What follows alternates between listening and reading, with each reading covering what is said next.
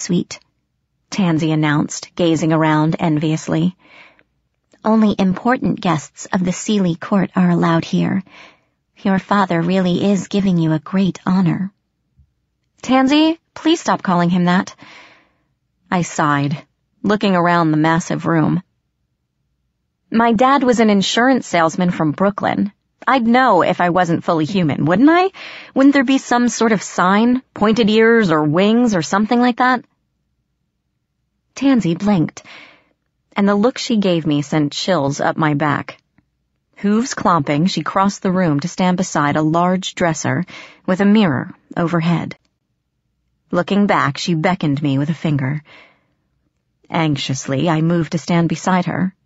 Somewhere deep inside, a voice began screaming that I didn't want to see what would be revealed next. I didn't listen in time. With a solemn look, Tansy pointed to the mirror, and for the second time that day, my world turned upside down. I hadn't seen myself since the day I stepped through the closet with Puck. I knew my clothes were filthy, sweat-stained, and ripped to shreds by branches, thorns, and claws. From the neck down, I looked how I expected to look, like a bum that had been tramping through the wilderness for two days without a bath. I didn't recognize my face. I mean, I knew it was me. The reflection moved its lips when I did, and blinked when I blinked, but my skin was paler, the bones of my face sharper, and my eyes seemed enormous, those of a deer caught in headlights, and through my matted, tangled hair, where nothing had been yesterday, two long pointed ears jutted up from both sides of my head. I gaped at the reflection, feeling dizzy, unable to comprehend the meaning. No! My brain screamed, violently rejecting the image before it. That isn't you! It isn't! The floor swayed under my feet. I couldn't catch my breath. And then all the shock, adrenaline, fear, and horror of the past two days descended on me at once. The world spun, tilted on its axis, and I fell away into oblivion. Part 2 Chapter 11 Titania's Promise Megan! Mom called from the other side of the door. Get up! You're going to be late for school. I groaned and peeked out from under the covers. Was it morning already? Apparently so. A hazy gray light filtered in my bedroom window, shining on my alarm clock, which read 6.48 a.m. Megan? Mom called, and this time a sharp rapping accompanied her voice. Are you up? Yes, I hollered from the bed, wishing she'd go away. Well, hurry up, you're going to miss the bus. I shambled to my feet, threw on clothes from the cleanest pile on the floor, and grabbed my backpack. My iPod tumbled out, landing with a splat on my bed. I frowned. Why was it wet? Megan? came Mom's voice yet again, and I rolled my eyes. It's almost seven. If I have to drive you to school because you missed the bus, you're grounded for a month. All right, all right, I'm coming, damn it. Stomping down to the door, I threw it open. Ethan stood there, his face blue and wrinkled, his lips pulled into a rictus grin. In one hand, he clutched a butcher knife.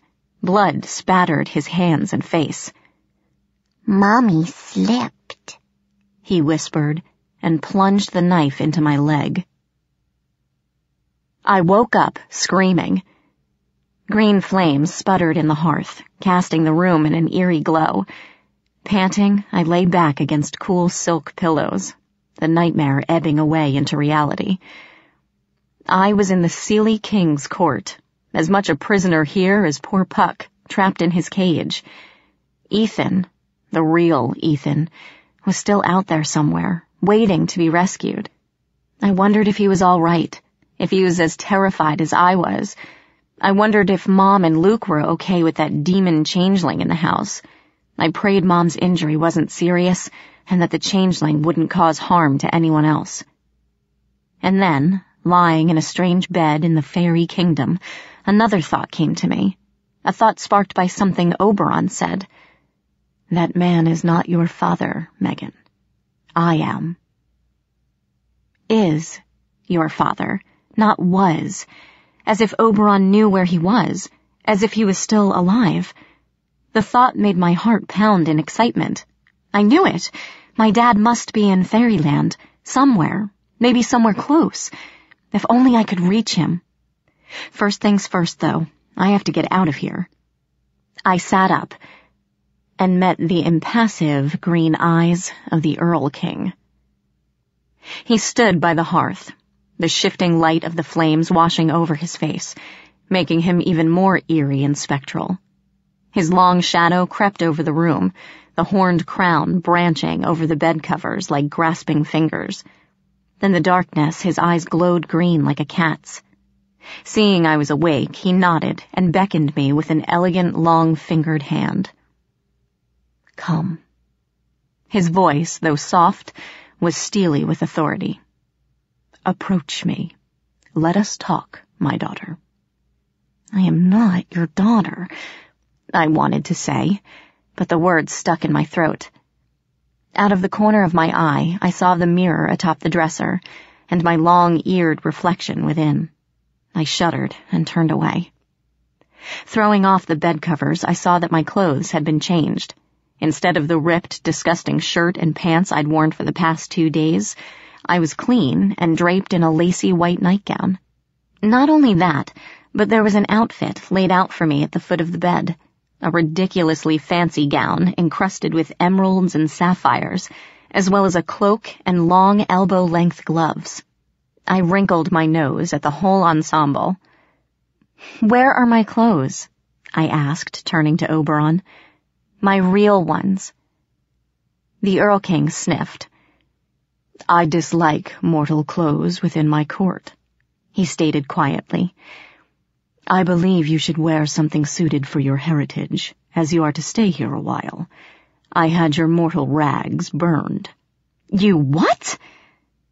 Oberon narrowed his eyes, and I realized I might have gone too far. I figured the king of the Seelie court wasn't used to being questioned.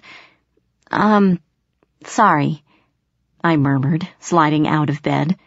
I'd worry about clothes later. So, what did you want to talk about? The Erlking sighed and studied me uncomfortably. You put me in a difficult position, daughter, he murmured at last, turning back to the hearth. You are the only one of my offspring to venture into our world. I must say, I was a bit surprised that you managed to survive this long, even with Robin looking after you. Offspring? I blinked. You mean I have other brothers and sisters? Half-siblings? None that are alive. Oberon made a dismissive gesture. And none within this century, I assure you. Your mother was the only human to catch my eye in nearly two hundred years. My mouth was suddenly dry. I stared at Oberon in growing anger. Why? I demanded, making him arch a slender eyebrow. Why her? Wasn't she already married to my dad? Did you even care about that? I did not. Oberon's look was pitiless, unrepentant. What do I care for human rituals? I need no permission to take what I want. Besides, had she been truly happy, I would not have been able to sway her. Bastard. I bit my tongue to keep the angry word from coming out. Furious as I might be, I wasn't suicidal, but Oberon's gaze sharpened, as if he knew what I was thinking. He gave me a long, level stare, challenging me to defy him. We glared at each other for several heartbeats, the shadows curling around us, as I struggled to keep my gaze steady.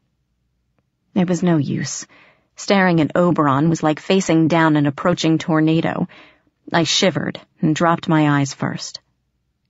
After a moment, Oberon's face softened, and a faint smile curled his lips. You are a lot like her, daughter, he continued, His voice split between pride and resignation. Your mother was a remarkable mortal.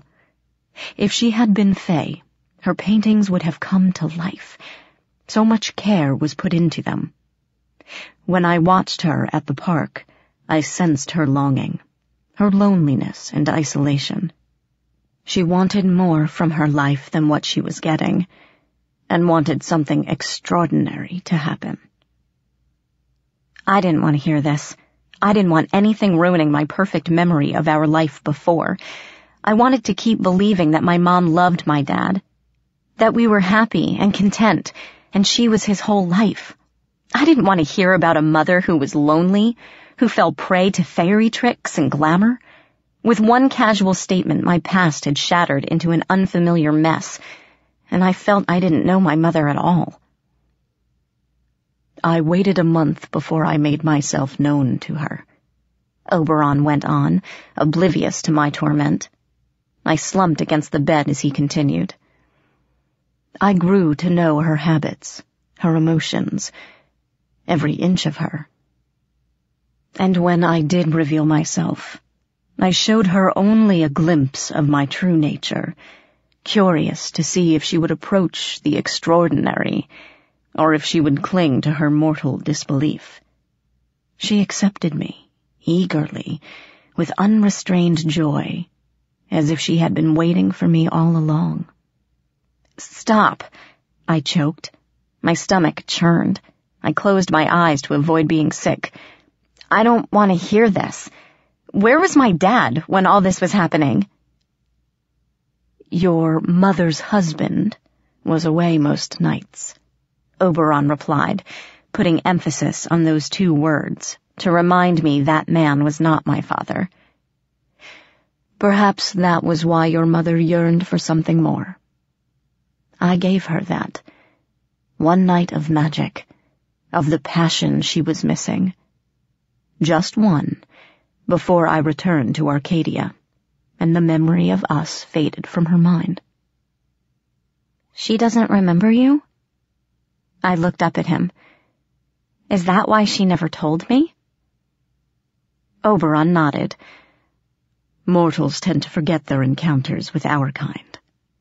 He said softly. At best, it seems like a vivid dream. Most times we fade from memory completely. Surely you have noticed this, how even the people you live with, who see you every day, cannot seem to remember you. Though, I always suspected your mother knew more, remembered more, than she let on, especially after you were born. A dark tone crept into his voice. His slanted eyes turned black and pupilless. I trembled as the shadow crept over the floor, reaching for me with pointed fingers. She tried to take you away, he said in a terrible voice. She wanted to hide you from us from me. Oberon paused, looking utterly inhuman, though he hadn't moved. The fire leaped in the hearth, dancing madly in the eyes of the Erlking. And yet here you are. Oberon blinked, his tone softening, and the fire flickered low again. Standing before me, your human mien faded at last, the moment you set foot in the Never Never, it was only a matter of time before your heritage began to show itself. But now I must be very cautious. He drew himself up, gathering his robes around him as if to leave. I cannot be too wary, Megan Chase, he warned. There are many who would use you against me, some within this very court. Be careful, daughter. Even I cannot protect you from everything. I sagged on the bed, my thoughts spinning crazily. Oberon watched me a moment longer, his mouth set in a grim line, then crossed the room without looking back. When I looked up, the Erlking was gone. I hadn't even heard the door close. A knock on the door startled me upright. I didn't know how much time had passed since Oberon's visit. I still lay on the bed, The colored flames burned low, flickering erratically in the hearth.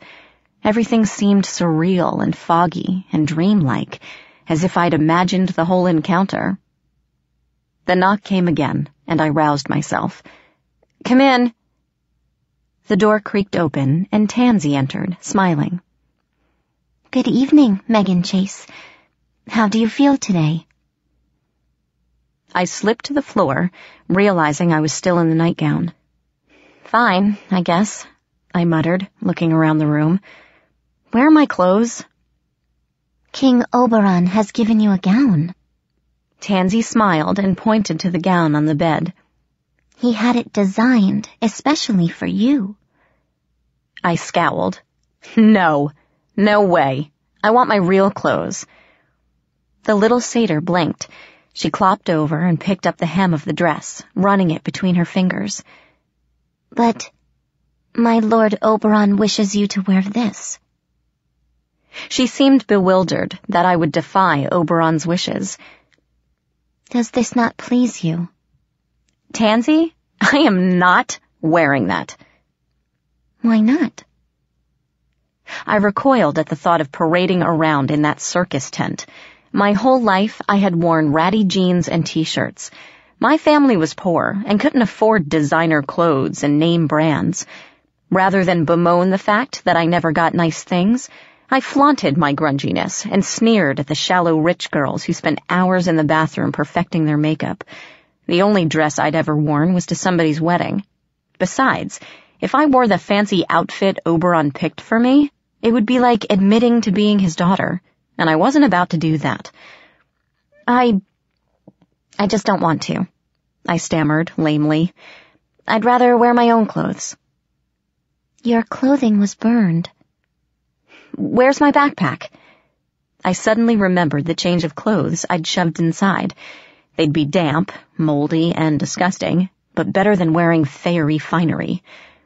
I found my backpack, stuffed carelessly behind the dresser, and unzipped it. A sour, dank smell rose from within as I dumped the contents onto the floor. The wadded ball of clothes rolled out, wrinkled and smelly, but mine. The broken iPod also tumbled free, skidded across the marble floor, and came to a stop a few feet from Tansy. The satyr girl yelped, and in one fantastic bound leaped onto the bed. Clutching the bedpost, she stared wide-eyed at the device on the floor. What is that? What? This? It's an iPod. Blinking, I retrieved the device and held it up. It's a machine that plays music, but it's broken now, so I can't show you how it works. Sorry. It stinks of iron. I didn't know what to say to that, so I opted for a confused frown. Tansy stared at me with huge brown eyes, very slowly coming down from her perch. You you can hold it? She whispered. Without burning your flesh? Without poisoning your blood? Um... I glanced at the iPod, lying harmlessly in my palm. Yes? She shuddered. Please, put it away. I shrugged, grabbed my backpack, and stuffed it into a side pocket. Tansy sighed and relaxed. Forgive me. I did not wish to upset you.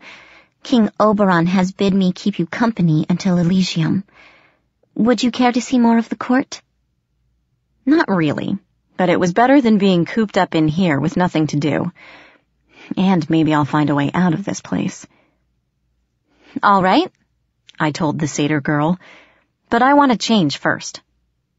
She cast a glance at my mortal clothes, lying wrinkled on the floor, and her nostrils flared.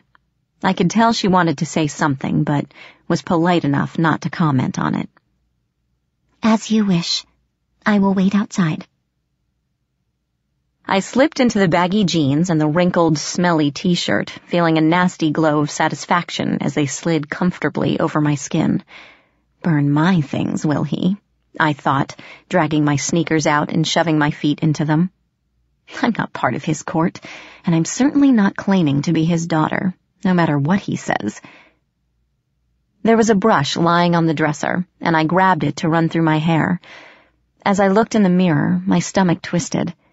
I seemed less recognizable than before, in ways that I couldn't even put a finger on. I knew only that the longer I stayed here, the more I was fading away. Shivering, I grabbed my backpack, happy for the familiar, comfortable weight, and slung it over my shoulders. Even though it carried nothing but a broken iPod, it was still mine. Refusing to glance at the mirror, feeling eyes on the back of my neck, I opened the door and slipped into the briar tunnel. Moonlight filtered through the branches, dappling the path with silver shadows. I wondered how long I'd been asleep. The night was warm, and faint strings of music drifted on the breeze. Tansy approached, and in the darkness, her face looked less human and more staring black goat. A strand of moonlight fell over her, and she was normal again. Smiling, she took my hand and led me forward. The bramble tunnel seemed longer this time, filled with twists and turns I didn't remember. I looked back once and saw the thorns closing behind us, the tunnel vanishing from sight. Um, it's all right, said Tansy, pulling me forward. The hedge can take you wherever you want to go within the court.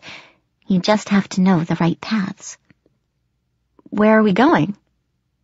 You'll see. The tunnel opened into a moonlit grove.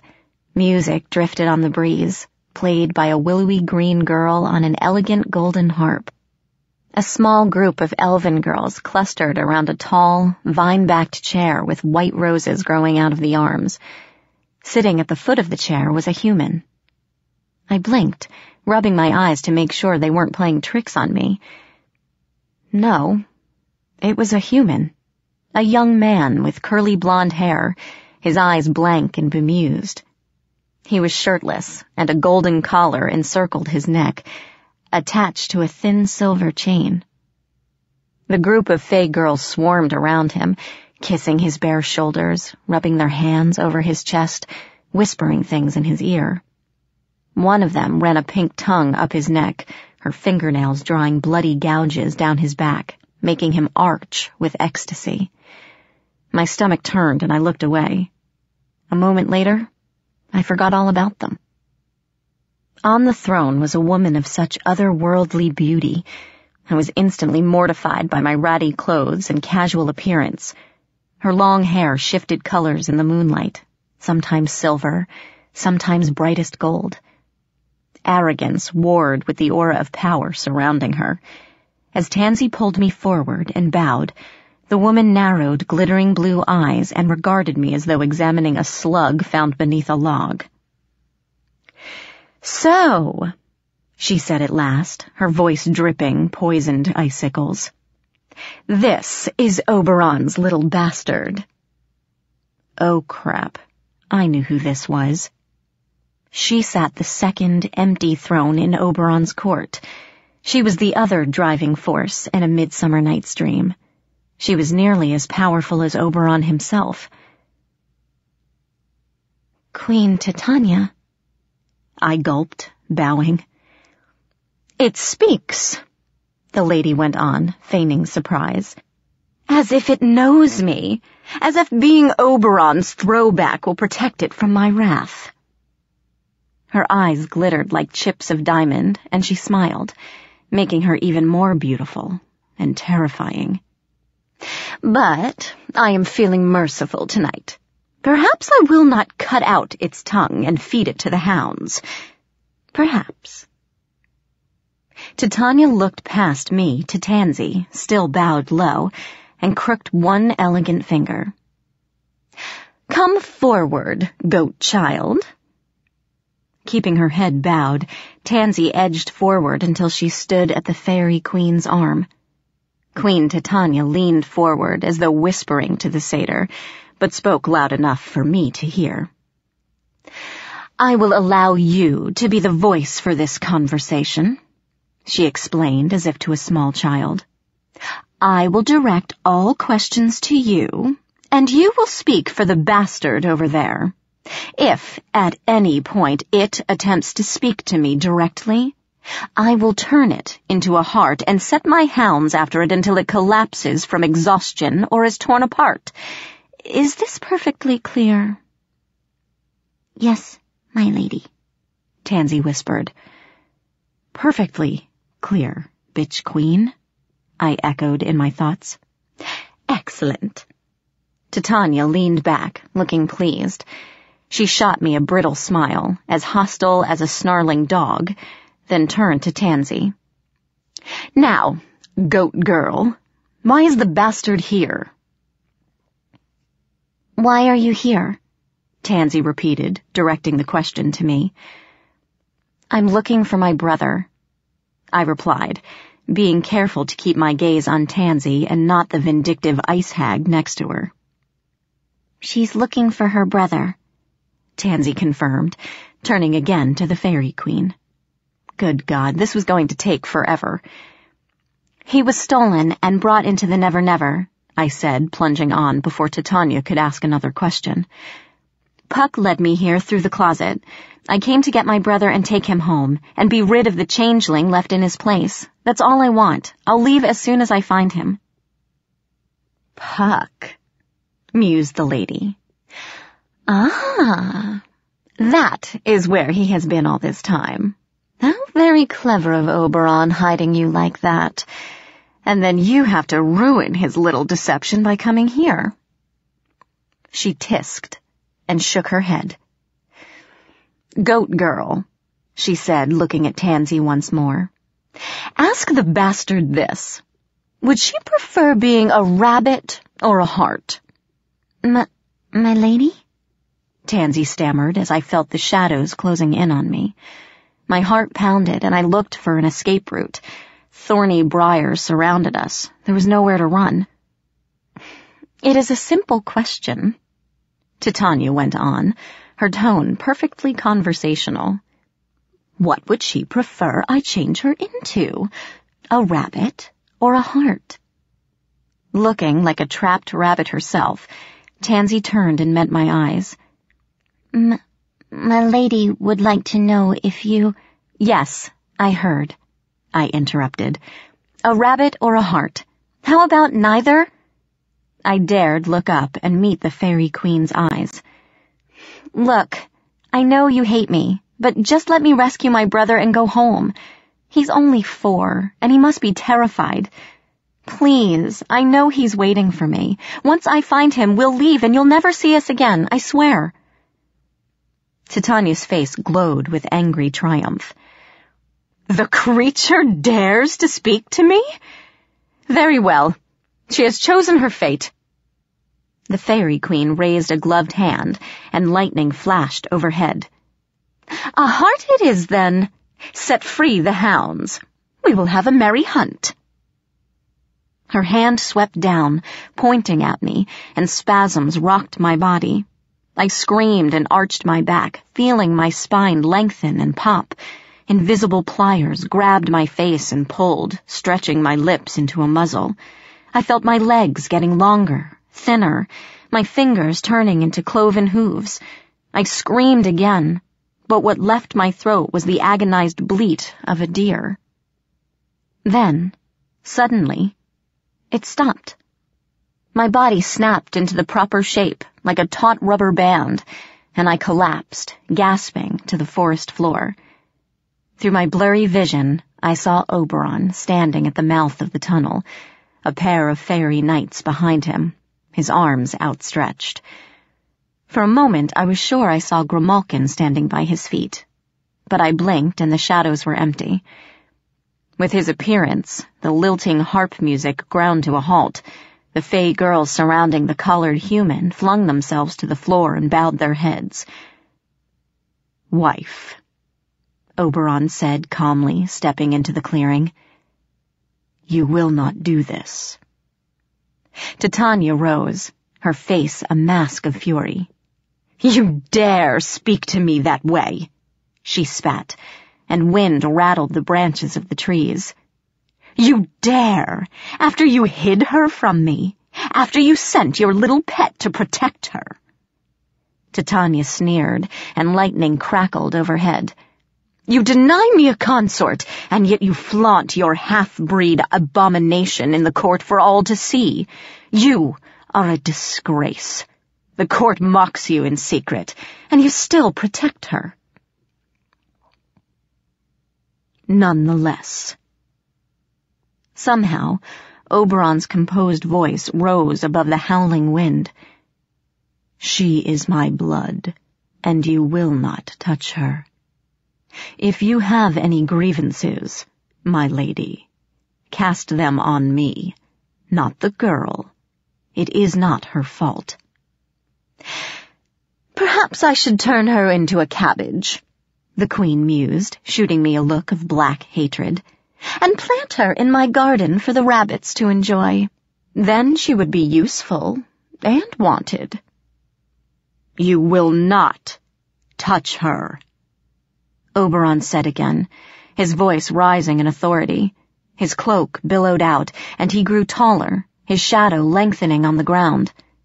I command it, wife. I have given my word that she shall not come to harm within my court, and you will follow me on this. Do I make myself clear? Lightning sizzled, and the ground shook under the intensity of the ruler's gazes. The girls at the foot of the throne cringed, and Oberon's guards grasped the hilts of their swords. A branch snapped nearby, barely missing the harp girl, who cowered under the trunk.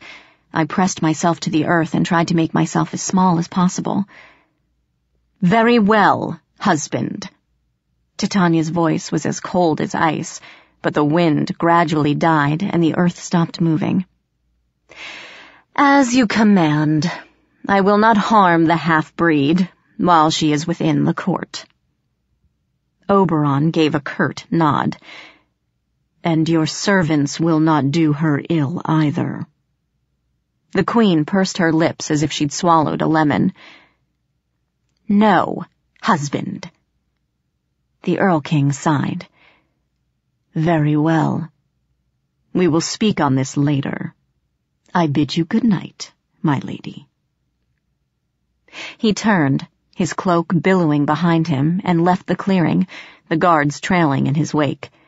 I wanted to call after him, but I didn't want it to look like I was running after Daddy's protection, especially after he put the smackdown on Titania. Speaking of which, I swallowed and turned to face the fairy queen, who glared at me as if hoping the blood would boil in my veins. Well, you heard his majesty half-breed? She cooed, her voice laced with poison. Get out of my sight before I forget my promise and change you into a snail. I was only too happy to leave.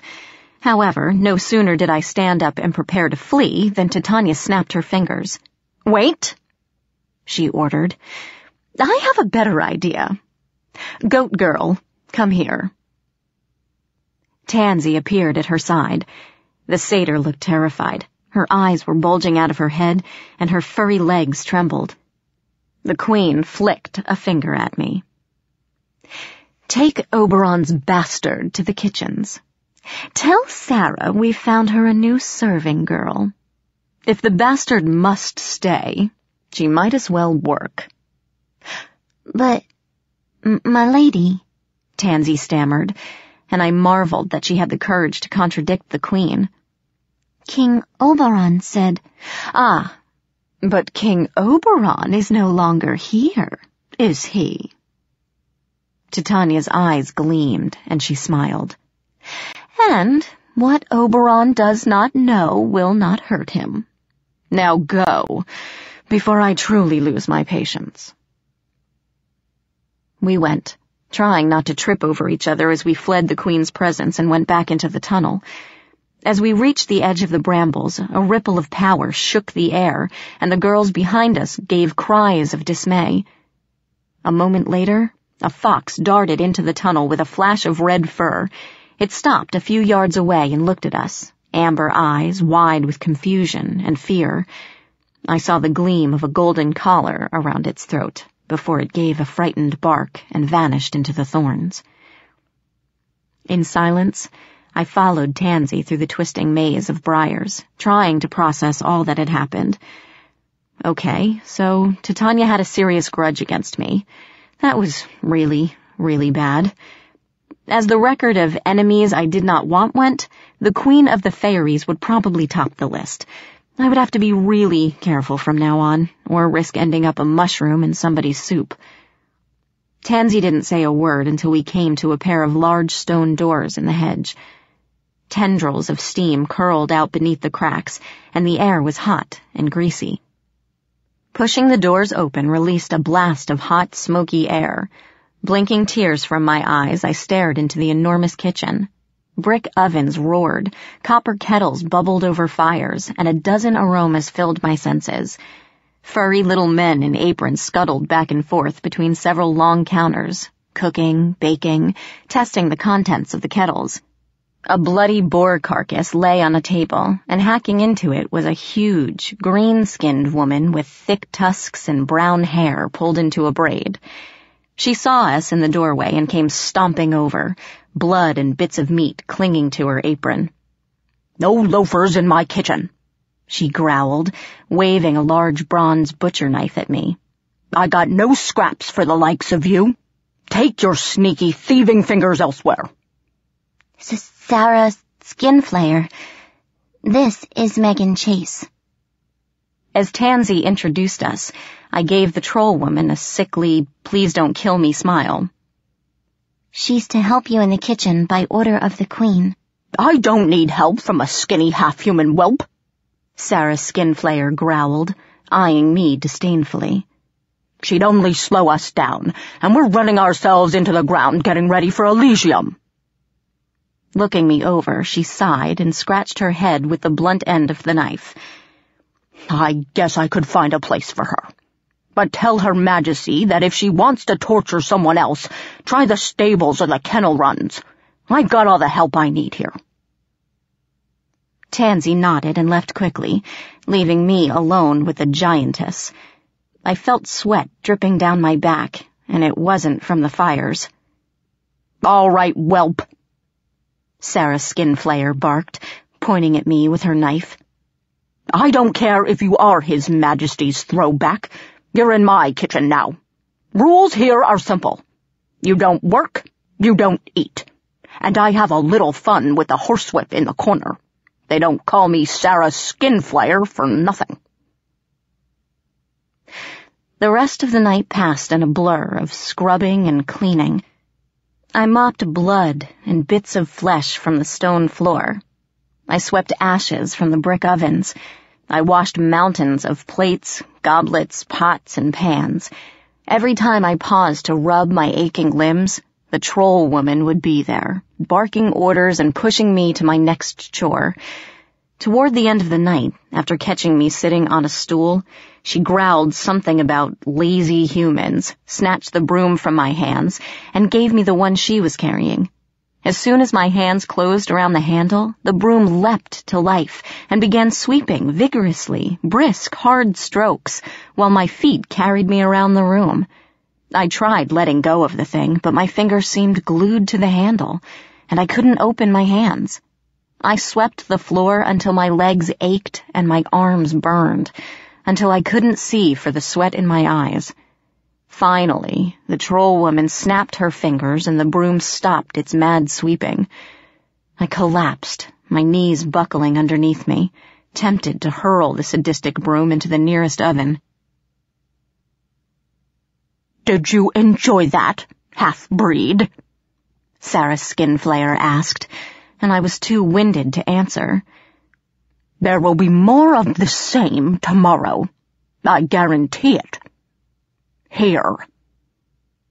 Two pieces of bread and a lump of cheese hit the ground. That's the dinner you earned tonight. It should be safe for you to eat. Maybe tomorrow you'll get something better. Fine, I muttered, ready to crawl back to my room, thinking there was no way I was ever coming back here.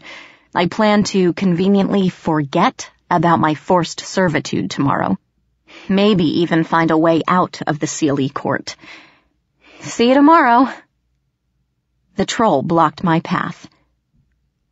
Where do you think you're going, half-breed? You're part of my workforce now, so that means you're mine. She pointed to a wooden door in the corner. The servants' quarters are full. You can take the pantry closet there. She smiled at me, fierce and terrible, showing blunt yellow teeth and tusks. We start work at dawn. See you tomorrow, whelp. I ate my measly dinner and crawled beneath shelves of onions, turnips, and strange blue vegetables to sleep. I had no blanket, but the kitchens were uncomfortably warm. I was trying to turn a sack of grain into a pillow when I remembered my backpack, tossed onto a shelf, and crawled out to retrieve it. There was nothing in the orange pack now but a broken iPod, but still, it was mine, the only reminder of my old life. I snatched the backpack off the shelf and was walking back toward my tiny room when I felt something wriggle inside the pack. Startled, I nearly dropped it and heard a soft snicker coming from inside. Edging over to the counter, I put the bag down, grabbed a knife, and unzipped it, ready to plunge the blade into whatever jumped out. My iPod lay there, dead and silent. With a sigh, I zipped the pack up and carried it to the pantry with me.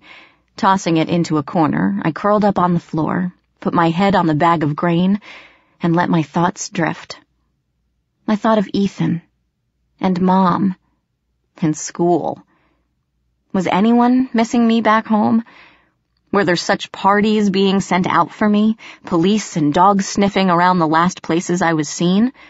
Or had Mom forgotten me, as I was sure Luke had? Would I even have a home to go back to if I did manage to find Ethan?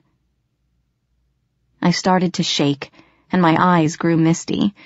Soon, tears flowed down my cheeks, staining the sack under my head and making my hair sticky. I turned my face into the rough fabric and sobbed. I'd hit rock bottom. Lying in a dark pantry with no hope of rescuing Ethan and nothing to look forward to but fear pain, and exhaustion. I was ready to give up. Gradually, as my sobs stilled and my breathing grew calmer, I realized I was not alone.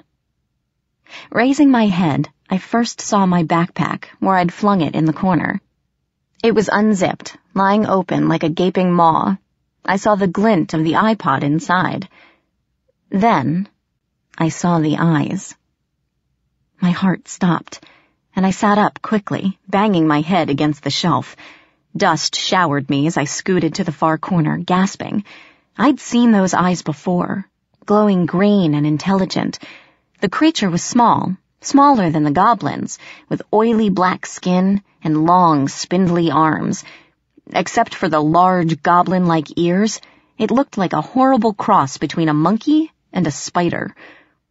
The creature smiled and its teeth lit the corner with pale blue light. Then it spoke. Its voice echoed flatly in the gloom, like a radio speaker hissing static. I couldn't understand it at first. Then, as if it were changing the station, the static cleared away and I heard words. Are waiting, it crackled, its voice still buzzing with static. Come to Iron, your brother, held in Ethan? I bolted upright, banging my head again. Where is he? What do you know about him? Iron Court. We... waiting for...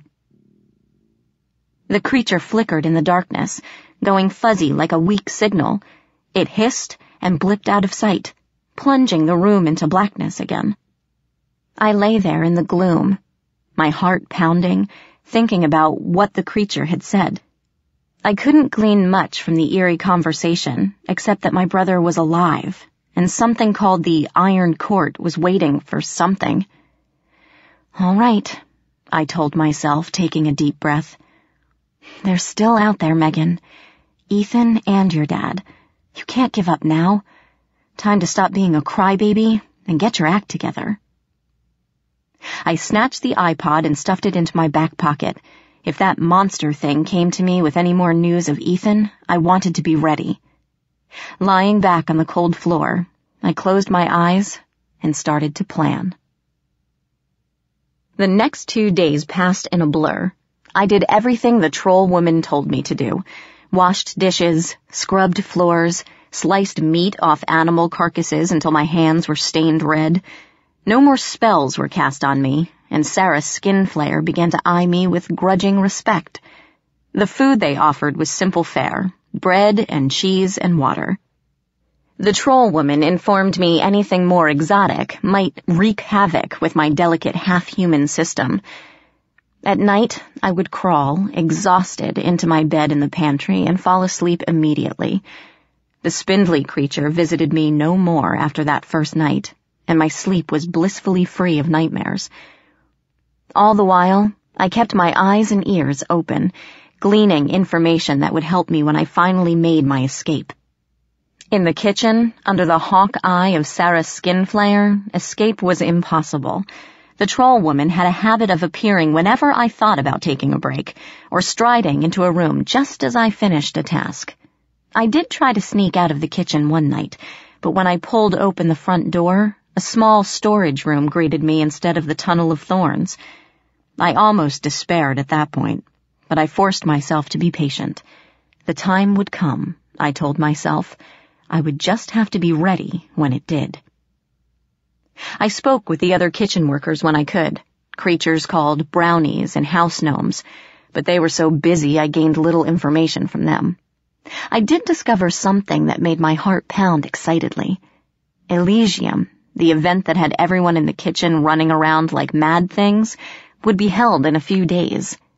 As tradition dictated, the Seelie and unseelie courts would meet on neutral ground to discuss politics, sign new accords, and maintain their very uneasy truce. Since it was spring, the unseelie court would be traveling to Oberon's territory for Elysium. In winter, the unseelie would play host. Everyone in the court was invited, and as kitchen staff, we were required to be there. I continued working hard, my own plans for Elysium running around in my head. Then, three days after my sentence to the kitchens, we had visitors. I was standing over a basket of tiny dead quail, plucking them after Sarah Skinflayer broke their necks and passed them to me. I tried to ignore the troll as she reached into the cage, grabbed a flapping, bright-eyed bird, and twisted its neck with a faint popping sound. She then tossed the lifeless body into the basket like a plucked fruit and reached for another. The door swung open abruptly, streaming light into the room, and three fairy knights walked in. Long silver hair, pulled into simple ponytails, glimmered in the dimness of the room, and their faces were haughty and arrogant. We have come for the half-breed, one of them announced, his voice ringing through the kitchen. By order of King Oberon, she will come with us. Sarah Skinflayer glanced my way, snorted, and picked up another quail. That's fine with me. The brat's been nothing but dead weight since she came here.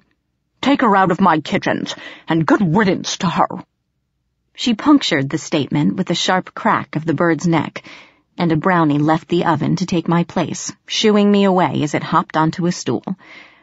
I started to follow them, but remembered my backpack lying on the floor of the pantry closet.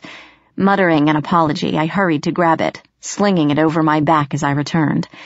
None of the brownies looked up at me as I left, though Sarah Skinflayer glowered as she wrung a bird's neck. Battling relief and an odd sense of guilt, I followed the knights out of the room. They led me through the twisting brambles to yet another door, opening it without preamble. I walked into a small bedroom, not nearly as fancy as my first, but nice enough. I glimpsed a round, steaming pool through a side room door and thought longingly of a bath. I heard muffled clops on the carpeted floor and turned to see a pair of satyr girls enter behind a tall, willowy woman with pure white skin and straight raven hair. She wore a dress so black it sucked in the light, and her fingers were long and spider-like. One of the satyr girls peeked at me from behind the woman's dress. I recognized Tansy, who gave me a timid smile, as if she feared I was mad about the encounter with Titania. I wasn't. She had been a pawn in the fairy queen's game, just like me. But before I could say anything, the tall woman swept up and grabbed me, holding my chin in her bony fingers, black eyes with no iris or pupil, scanned my face. Filthy, she rasped, her voice like silk over steel blade. What a plain, dirty little specimen. What does Oberon expect me to do with this? I'm not a miracle worker. I wrenched my face from her grasp, and the satyr girl squeaked.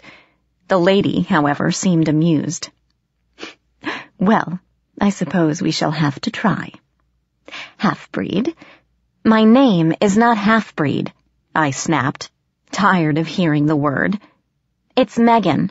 Meghan Chase. The woman didn't blink. You give out your full name so easily, child, she stated, making me frown in confusion. You are lucky that is not your true name, else you might find yourself in a dire situation. Very well, Meghan Chase.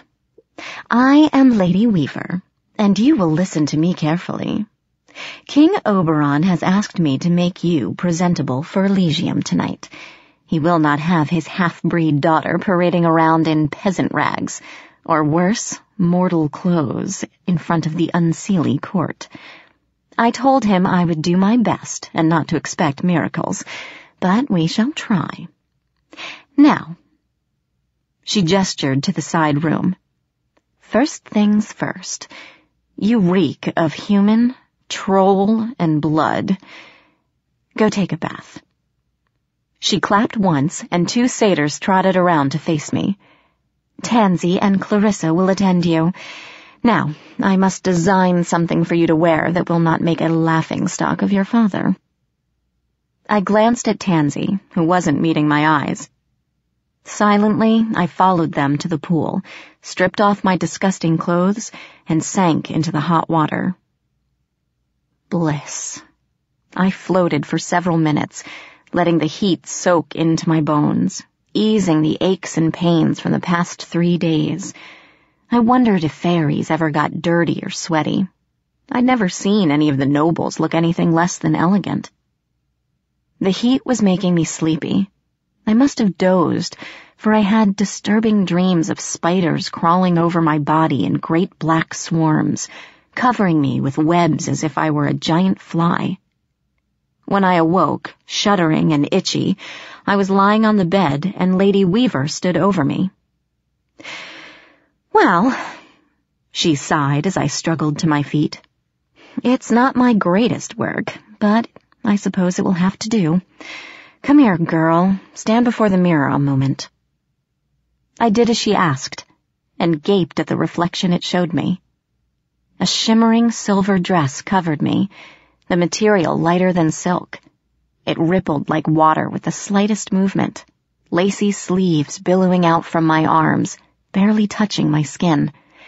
My hair had been elegantly curled and twisted into a graceful swirl atop my head, held in place by sparkling pins. A sapphire the size of a baby's fist flashed blue fire at my throat. Well?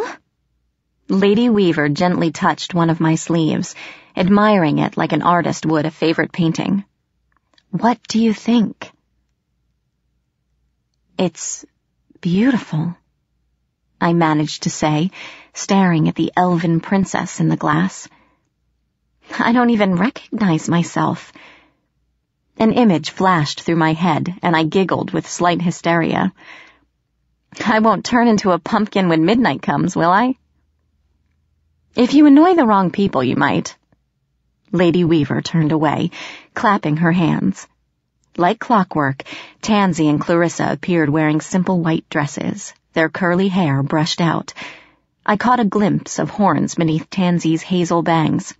She held my orange backpack in two fingers, as if afraid it would bite her. I had the girls wash your mortal clothes. Lady Weaver said, turning away from the mirror. Oberon would have them destroyed, but then that would mean more work for me, so I put them in your bag.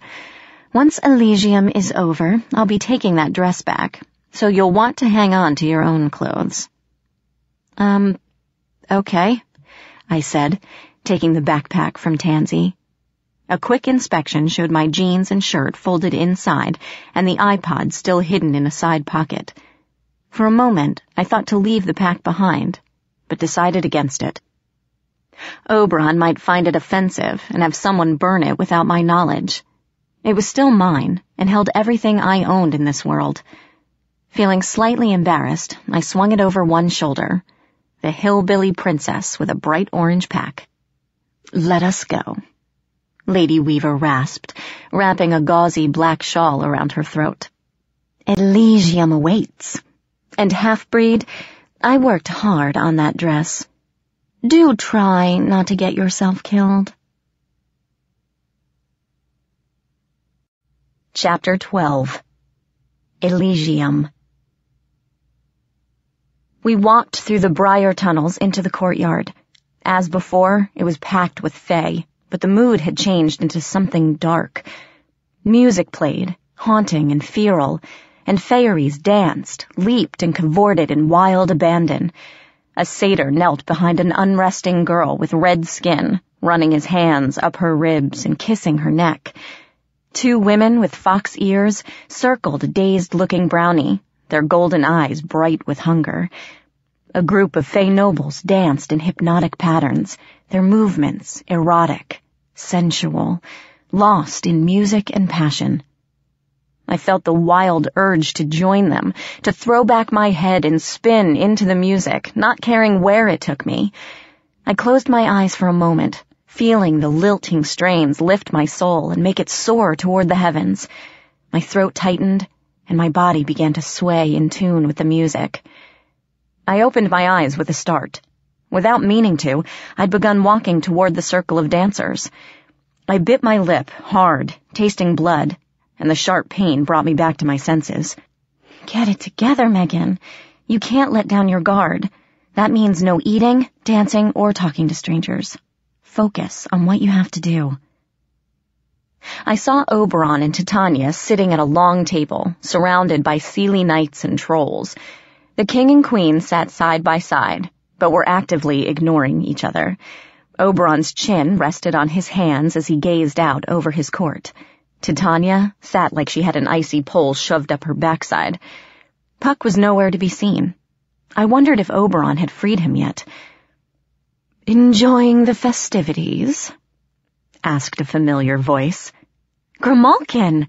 I cried, spotting the gray cat perched on the edge of a raised stool, tail curled around his legs.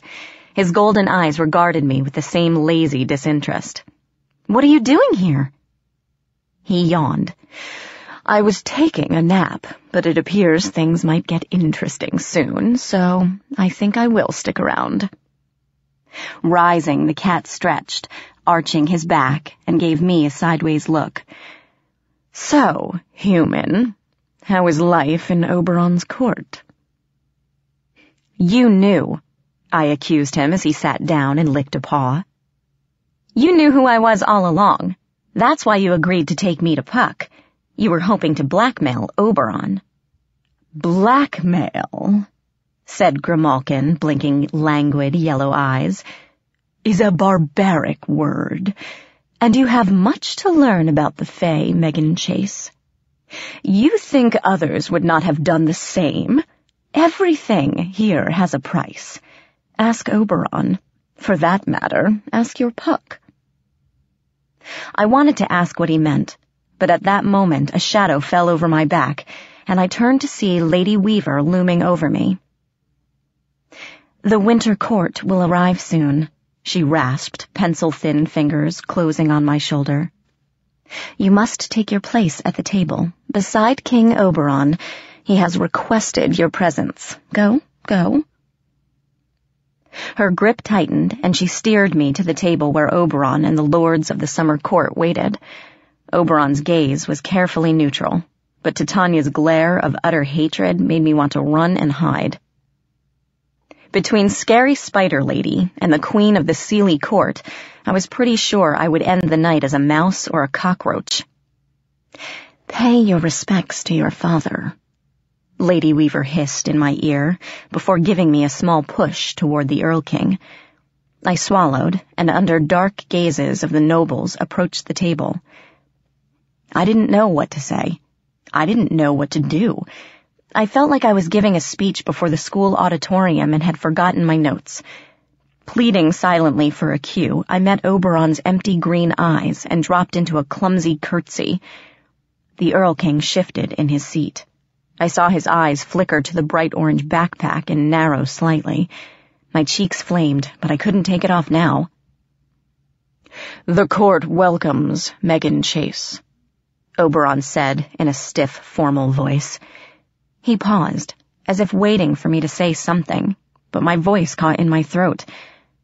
Silence stretched between us, and someone in the crowd snickered. Finally, Oberon gestured toward an empty chair near the end of the table, and I sat, red and blushing under the eyes of the entire court. That was impressive, mused a voice near my feet. Grimalkin leaped into the chair beside me, just as I was about to put my backpack where he stood. You definitely inherited your father's rapier wit. Lady Weaver must be so proud.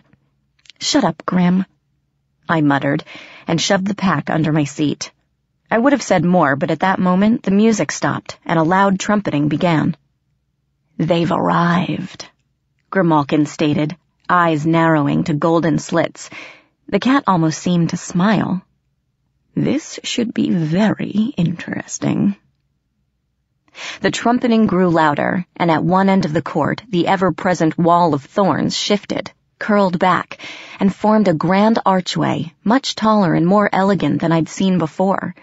Black roses burst into bloom among the thorns, and an icy wind hissed through the gate, coating nearby trees with frost.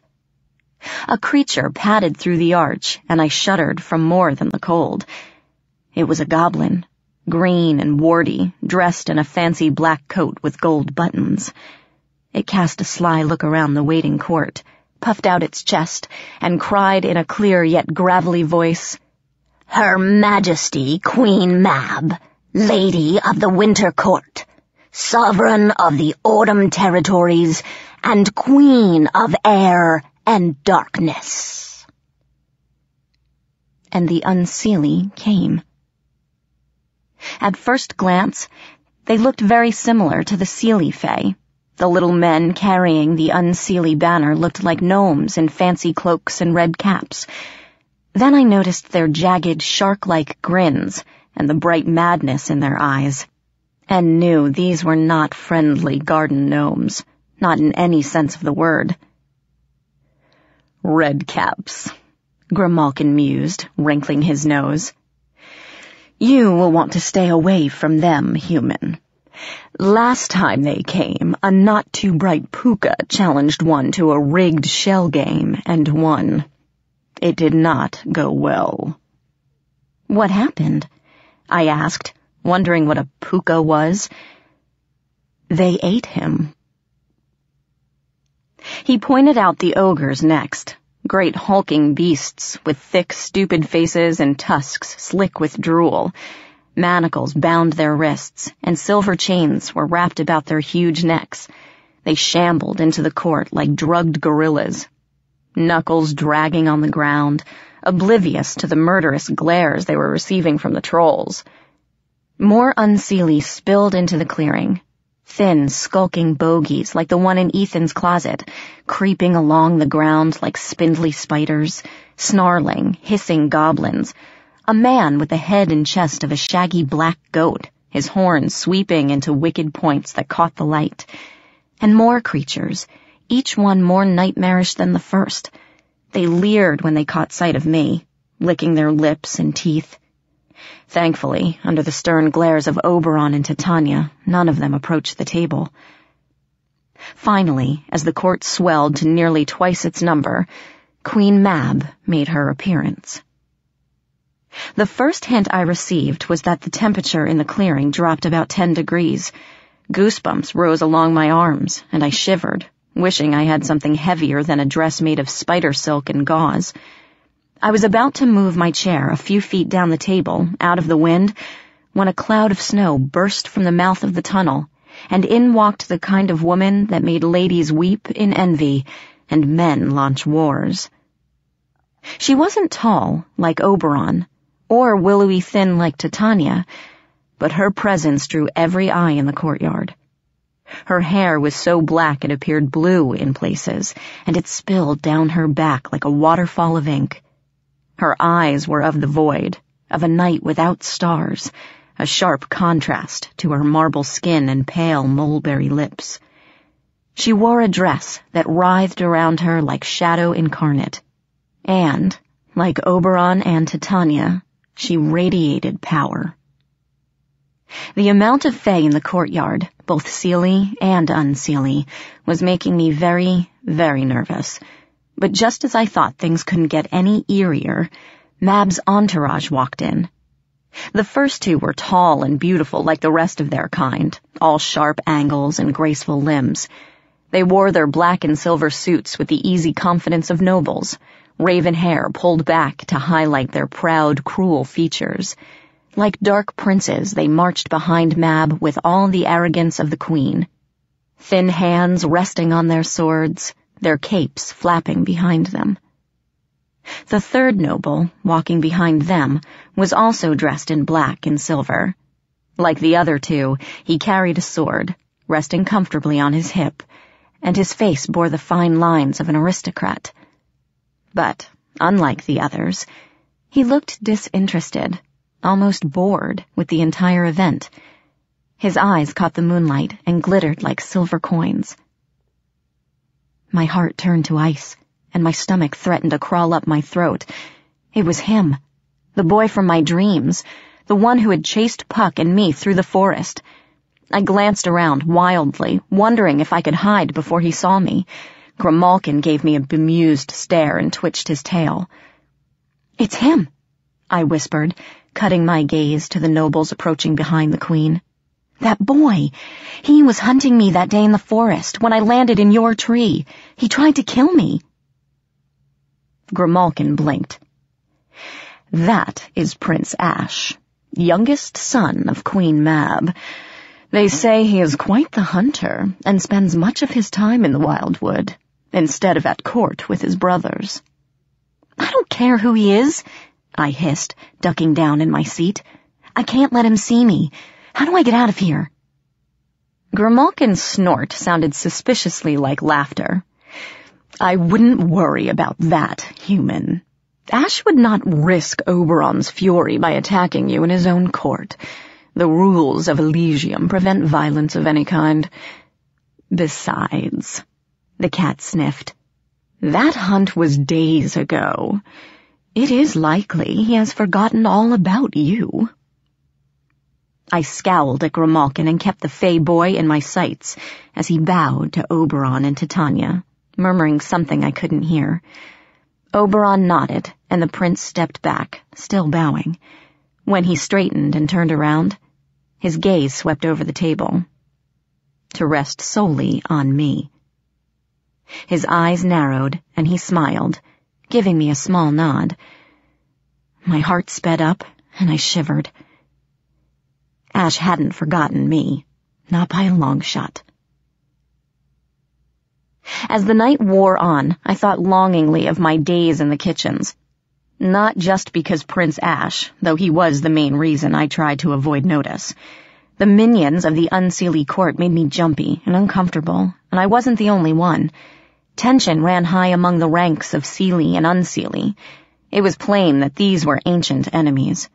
Only the Fae's devotion to rules and proper etiquette, and the power of their she-masters, kept things from erupting into a bloodbath. Or so Grimalkin told me. I took his word for it and remained very still in my seat, trying not to attract attention. Oberon, Titania, and Mab stayed at the table all night. The three princes sat to Mab's left, with Ash farthest down the table, much to my relief. Food was served, wine was poured, and the she-rulers spoke among themselves. Grimalkin yawned, bored with it all, and left my side, vanishing into the crowds. After what seemed like hours, the entertainment began.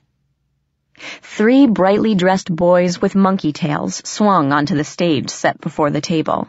They performed amazing leaps and tumbles over, onto, and through one another.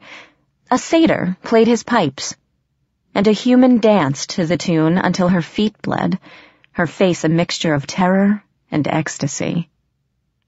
A stunning woman with goat hooves and piranha teeth sang a ballad about a man who followed his lover beneath the waters of the lake, never to be seen again. At the end of the song, I gasped air into my burning lungs and sat up, unaware that I'd been unable to breathe. Sometimes during the course of the festivities, Ash disappeared. Frowning, I scanned the courtyard for him, searching for a pale face and dark hair among the chaotic sea of Fae. He wasn't in the courtyard, as far as I could see, and he wasn't at the table with Mab and Oberon. There was a soft chuckle beside me, and my heart stopped. So, this is Oberon's famous half-blood? Ash mused as I whirled around. His eyes, cold and inhuman, glimmered with amusement. Up close, he was even more beautiful, with high cheekbones and dark tousled hair falling into his eyes. My traitor hands itched, longing to run my fingers through those bangs. Horrified, I clenched them in my lap, trying to concentrate on what Ash was saying. And to think, the prince continued, smiling, I lost you that day in the forest and didn't even know what I was chasing. I shrank back, eyeing Oberon and Queen Mab. They were deep in conversation and did not notice me. I didn't want to interrupt them simply because a prince of the Unseelie court was talking to me. Besides, I was a fairy princess now, even if I didn't quite believe it. Ash certainly did. I took a deep breath, raised my chin, and looked him straight in the eye. I warn you, I said, pleased that my voice didn't tremble, that if you try anything, my father will remove your head and stick it to a plaque on his wall. He shrugged one lean shoulder. There are worse things. At my horrified look, he offered a faint, self-derogatory smile. Don't worry, princess. I won't break the rules of Elysium. I have no intention of facing Mab's wrath, should I embarrass her. That's not why I'm here. Then what do you want? He bowed. A dance. What? I stared at him in disbelief. You tried to kill me. Technically, I was trying to kill Puck. You just happened to be there. But yes, if I'd had the shot, I would have taken it. Then why the hell would you think I'd dance with you? That was then. He regarded me blandly. This is now. And it's tradition in Elysium that a son and daughter of opposite territories dance with each other to demonstrate the goodwill between the courts. Well, it's a stupid tradition. I crossed my arms and glared. And you can forget it. I'm not going anywhere with you. He raised an eyebrow. Would you insult my monarch, Queen Mab, by refusing? She would take it very personally and blame Oberon for the offense. And Mab can hold a grudge for a very, very long time. Oh, damn. I was stuck. If I said no, I would insult the fairy queen of the Unseelie court. I'd also be on the shit lists of both Mab and Titania, and between them, my chances of survival were easily and completely nil. So, you're saying you're not giving me a choice? There is always a choice. Ash held out his hand. I will not force you. I only follow the orders of my queen. But know that the rest of the court is expecting us. He smiled then, bitter and self-mocking. And I promise to be a perfect gentleman until the night is done. You have my word. Damn it. I hugged my arms, trying to think of something to get me out of this. I'll just embarrass you anyway, I told him defiantly. I can't dance. You're Oberon's blood. A cool note of amusement colored his voice. Of course you can dance. I struggled with myself a moment longer. This is the prince of the Unseelie court, I thought, my mind racing. Maybe he'll know something about Ethan, or your dad. The least you can do is ask. I took a deep breath. Ash waited patiently with his hand outstretched, and when I finally put my fingers into his palm, he offered a faint smile. His skin was cold as he smoothly moved my hand to his arm, and I shivered at the nearness of him. He smelled sharply of frost and something alien, not unpleasant, but strange. We left the table together, and my stomach twisted as I saw hundreds of glowing fey eyes watching us. Seelie and unseelie alike parted for us, bowing as we approached the open stage. My knees trembled. I can't do this, I whispered, clutching Ash's arm for support. Let me go. I think I'm going to be sick. You'll be fine. Ash didn't look at me as we stepped onto the dance floor. He faced the trio of Fey rulers with his head up and his expression blank. I looked over the sea of faces and shook in terror. Ash tightened his grip on my hand. Just follow my lead. He bowed to Oberon's table, and I curtsied. The Erlking gave a solemn nod, and Ash turned to face me, taking one of my hands and guiding the other to his shoulder. The music started. Ash stepped forward, and I almost tripped, biting my lip as I tried to match his steps. We more or less minced around the stage, me concentrating on not falling or stepping on toes, Ash moving with tiger-like grace. Thankfully, no one booed or threw things, but I stumbled forward and back in a daze, only wanting the humiliation to end. Somewhere in this waking nightmare, I heard a chuckle. Stop thinking, Ash muttered, pulling me into a spin that ended with me against his chest. The audience doesn't matter. The steps don't matter. Just close your eyes and listen to the music. Easy for you to say, I growled, but he spun me again so quickly that the stage whirled and I closed my eyes. Remember why you're doing this, my mind hissed. This is for Ethan.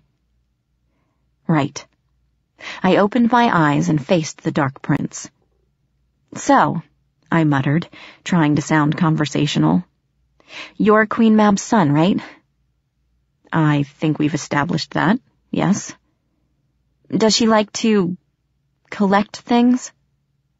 Ash looked at me strangely, and I hurried on. Humans, I mean. Does she have a lot of humans in her court? A few. Ash spun me again, and this time I went with it. His eyes were bright as I came back to his arms. Mab usually gets bored with mortals after a few years. She either releases them or turns them into something more interesting, depending on her mood. Why? My heart pounded. Does she have a little boy in her court? I asked as we swirled around the stage. Four years old, curly brown hair, blue eyes, quiet most of the time. Ash regarded me strangely. I don't know, he said, to my disappointment. I haven't been to court lately. Even if I had, I cannot keep track of all the mortals the Queen acquires and releases over the years. Oh, I muttered, lowering my eyes. Well, that idea was shot. Well, if you're not in court, where are you then? Ash gave me a chilling smile. The Wildwood, he replied, spinning me away. Hunting. I rarely let my prey escape, so be grateful Puck is such a coward. Before I could answer, he pulled me close again, his mouth against my ear. Although, I am happy I didn't kill you then. I told you a daughter of Oberon could dance. I'd forgotten about the music and realized my body was acting on autopilot, sweeping over the dance floor as if I'd done it a thousand times. For a long moment we said nothing, lost in the music and the dance. My emotions soared as the crescendo rose into the night, and there was no one except us, spinning around and around, the music ceased as Ash pulled me into a final spin. I ended up pressed against him, his face inches from mine, his gray eyes bright and intense. We stood there a moment, frozen in time, our hearts thrumming wildly between us. The rest of the world had disappeared. Ash blinked and offered a tiny smile. It would take only a half step to meet his lips. A scream shattered the night, jerking us back to our senses. The prince released me and stepped away, his face shutting into that blank mask once more. The scream came again, followed by a thunderous roar that rattled the tables and sent fine crystal goblets crashing to the floor. Over the crowd of spectators, I saw the bramble wall shaking wildly as something large tore its way through. Fae began shouting and pushing one another, and Oberon stood, his ringing voice calling for order. For just a moment, everyone froze. The brambles parted with deafening snaps, and something huge clawed its way free. Blood streaked the tawny hide of a monster, not a shadowy under-your-bed bogey that jumped out at you, but a real monster that would rip open your stomach and eat your entrails. It had three horrible heads, a lion with a bloody satyr in its jaws, a goat with mad white eyes, and a hissing dragon with molten flame dripping from its teeth. A chimera. For a heartbeat, it paused, staring at the party it had just interrupted, the heads blinking in unison. The dead satyr, now a chewed, mangled mess, dropped to the ground, and someone in the crowd screamed. The chimera roared, three voices rising to a deafening shriek. The crowd scattered as the monster gathered its hindquarters under it and leapt into the fray. It came down beside a fleeing redcap and lashed out with a claw-tipped paw catching the fairy in the stomach and disemboweling it instantly. As the redcap staggered and fell, holding its intestines, the chimera turned and pounced on a troll, bearing it to the ground. The troll snarled and grabbed the lion's throat, holding it away. But then the dragon head came down, clamping its jaws around the troll's neck and twisting. Dark blood exploded in a fine spray, filling the air with a sickening coppery smell. The troll shuddered and went limp. Gore dripping from its snout, the chimera looked up and saw me, still frozen on the stage. With a roar, it sprang, landing on the edge of the dance floor. My brain screamed at me to run, but I couldn't move.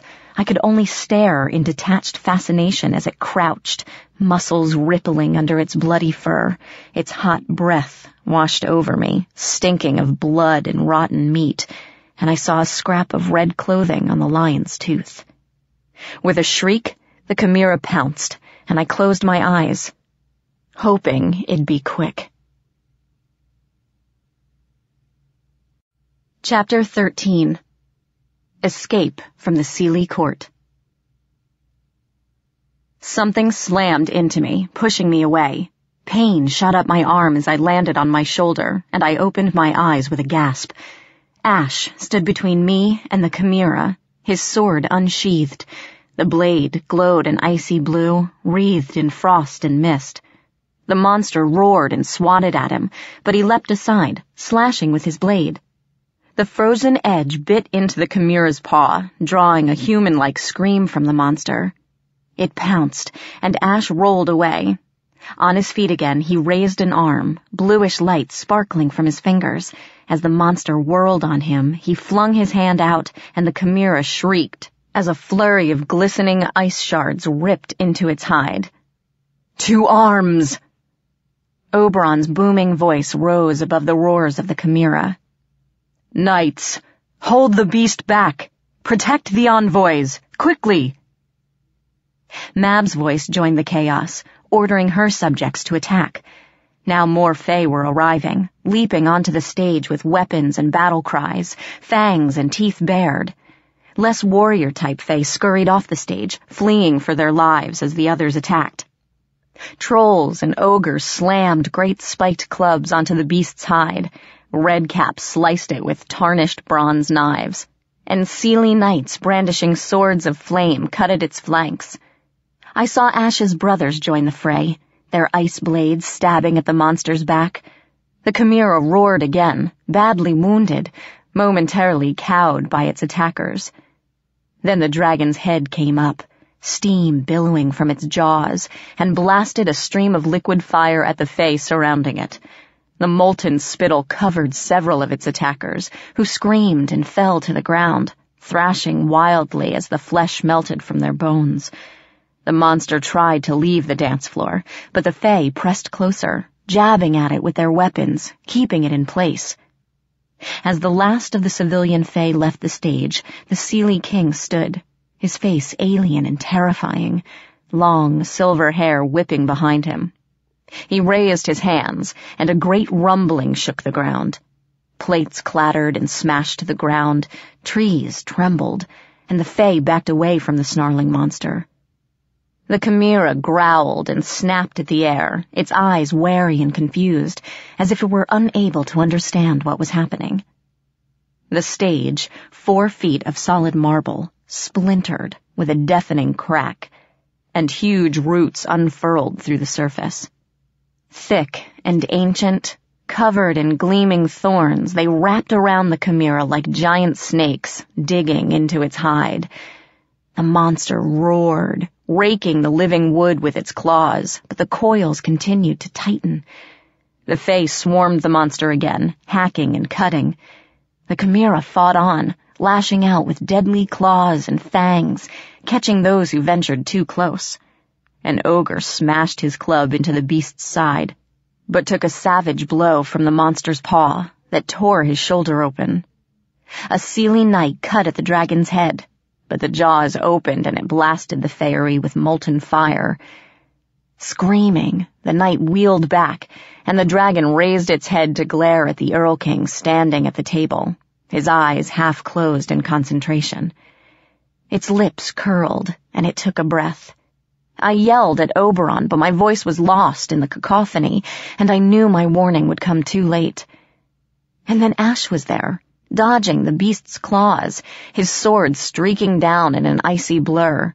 It sliced clean through the dragon's neck, severing it, and the head struck the marble with a revolting splat.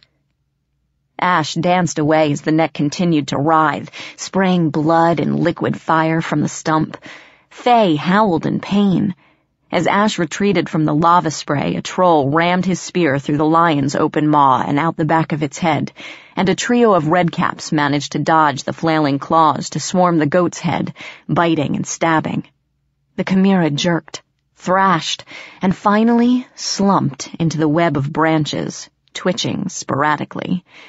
Even as it died, the redcaps continued to rip out its flesh. The battle was over but the carnage remained. Charred, mangled, mutilated bodies lay like broken toys around the fractured stage. Gravely wounded Fae clutched at their injuries, their faces twisted in agony. The smell of blood and burning flesh was overwhelming. My stomach heaved. Twisting my head from the gruesome sight, I crawled to the edge of the stage and vomited into the rose bushes. Oberon! The shriek sent chills through me.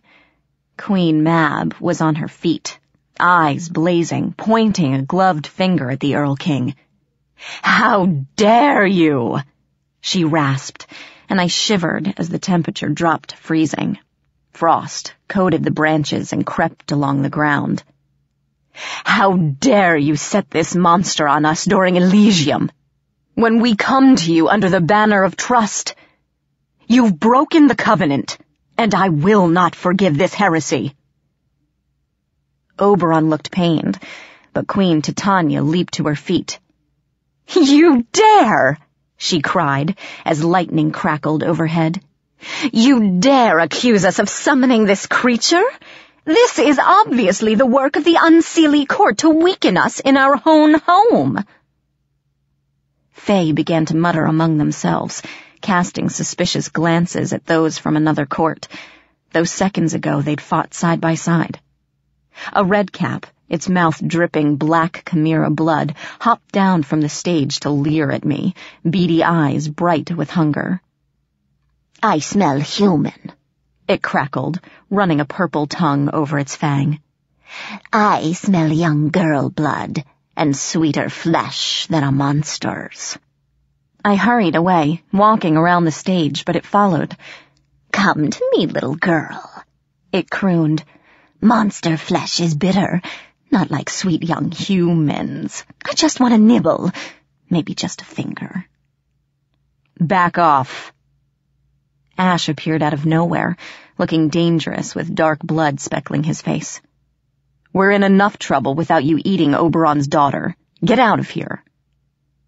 The redcap sneered and scurried off. The Fey boy sighed and turned to me, his gaze scanning the length of my dress. Are you hurt? I shook my head. You saved my life, I murmured. I was about to say thank you, but caught myself, since those words seemed to indebt you in Faerie. A thought came, unbidden and disturbing. I...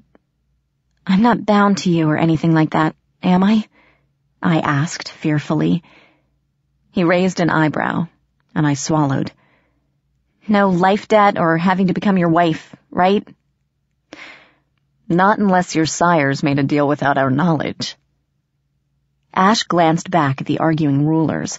Oberon was trying to silence Titania, but she would have none of it, turning her anger on him as well as Mab. And I'd say any contracts that were made were officially broken now. This will probably mean war. War?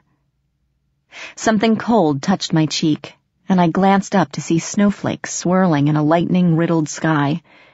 It was eerily beautiful, and I shivered. What will happen then?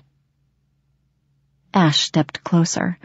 His fingers came up to brush the hair from my face, sending an electric shock through me from my spine to my toes. His cool breath tickled my ear as he leaned in. I'll kill you, he whispered, and walked away, joining his brothers at the table. He did not look back. I touched the place where his fingers had brushed my skin, giddy and terrified at the same time. Careful, human, Grimalkin appeared on the corner of the stage, overshadowed by the dead Chimera. Do not lose your heart to a fairy prince. It never ends well. Who asked you? I glared at him. And why do you always pop up when you're not wanted? You got your payment. Why are you still following me? You are amusing, purred Grimalkin. Golden eyes flicked to the bickering rulers and back again. And of great interest to the king and queens. That makes you a valuable pawn indeed. I wonder what you will do next, now that your brother is not in Oberon's territory. I looked at Ash, standing beside his brothers, stone-faced as the argument between Mab and Titania raged on, Oberon was trying to calm them both, but with little success. I have to go to the Unseelie Court, I whispered as Grimalkin smiled. I'll have to look for Ethan in Queen Mab's territory. I would imagine so. Grimalkin purred, slitting his eyes at me. Only, you don't know where the Unseelie Court is, do you? Mab's entourage came here in flying carriages. How will you find it? I could sneak into one of the carriages, maybe, disguise myself. Grimalkin snorted with laughter. If the redcaps do not smell you out, the ogres will. There will be nothing left but bones by the time you reached Tir na Nog. The cat yawned and licked a forepaw. Too bad you lack a guide. Someone who knows the way. I stared at the cat, a slow anger building as I realized what it was saying. You know the way to the Unseelie Court, I said quietly. Grimalkin scrubbed a paw over his ears. Perhaps. And you'll take me there, I continued, for a small favor.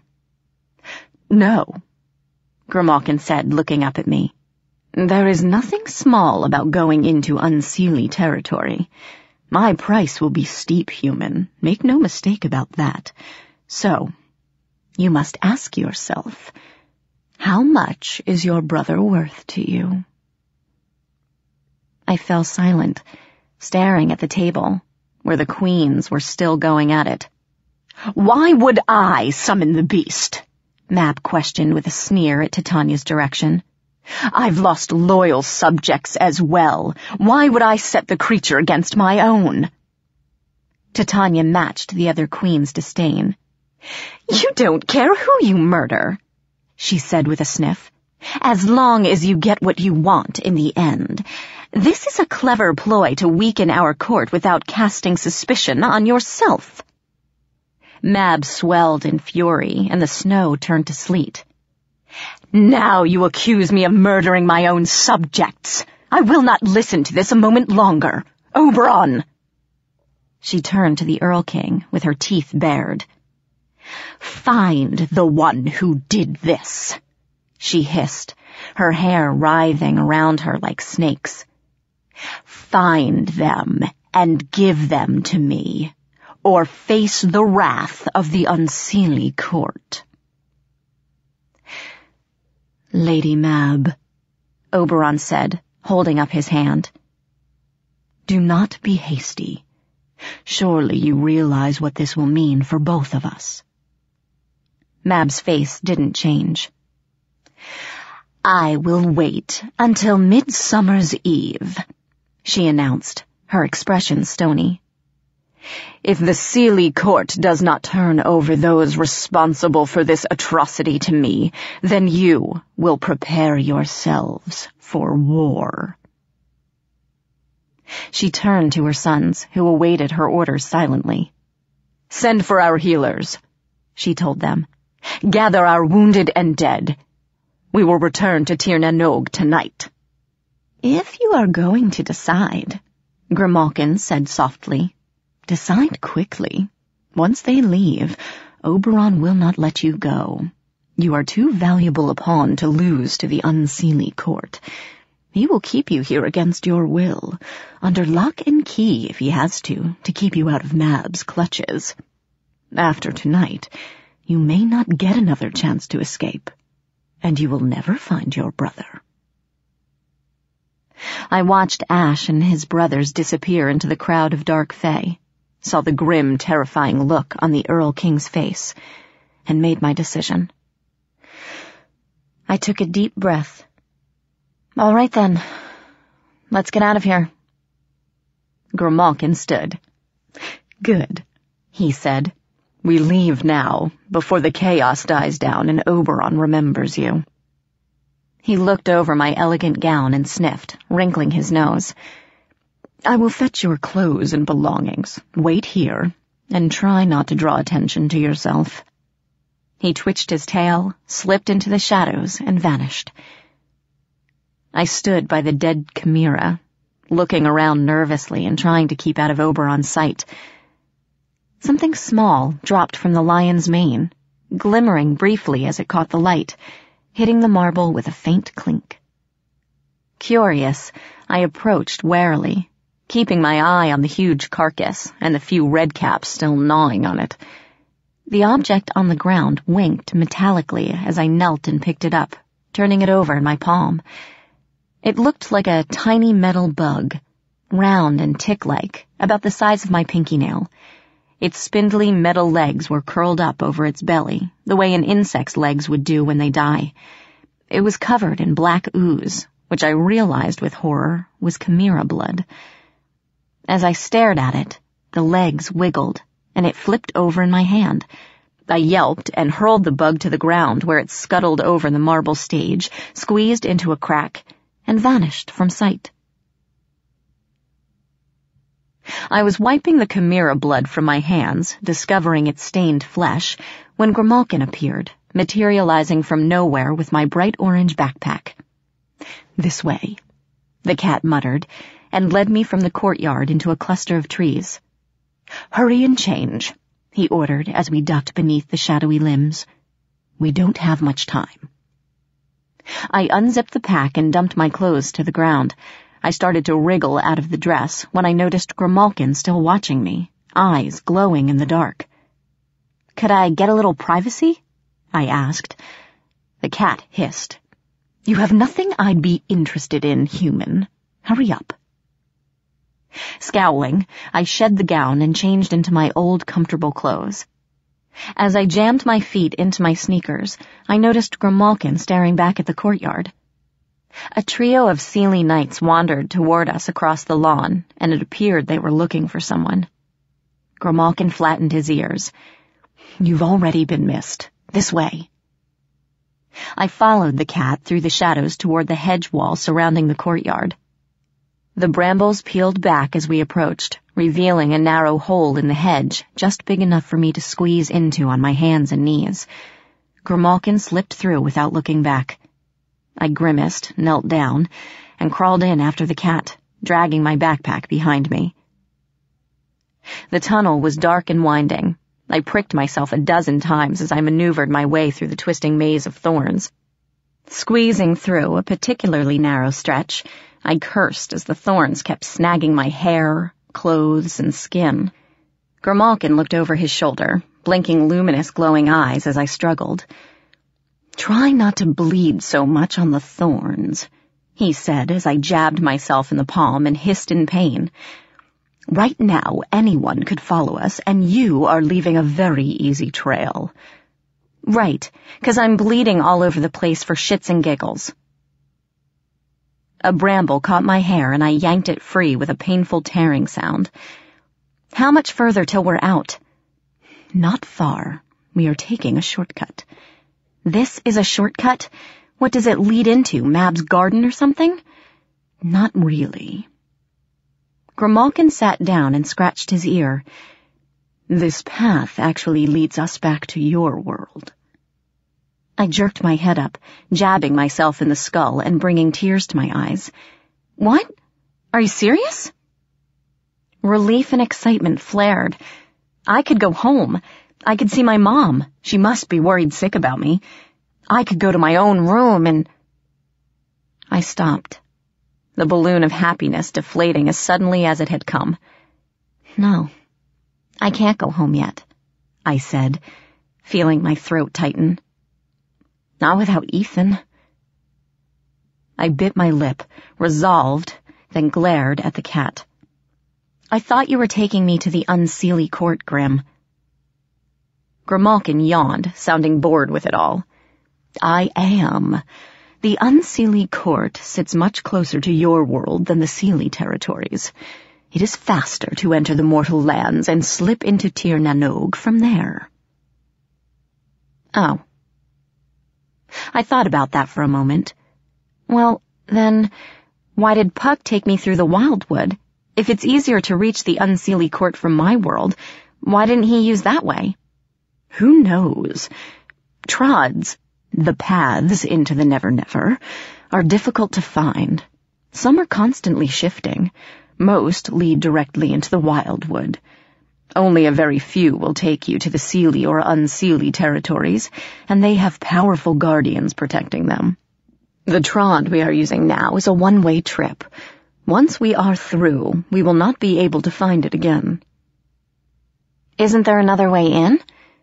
Grimalkin sighed.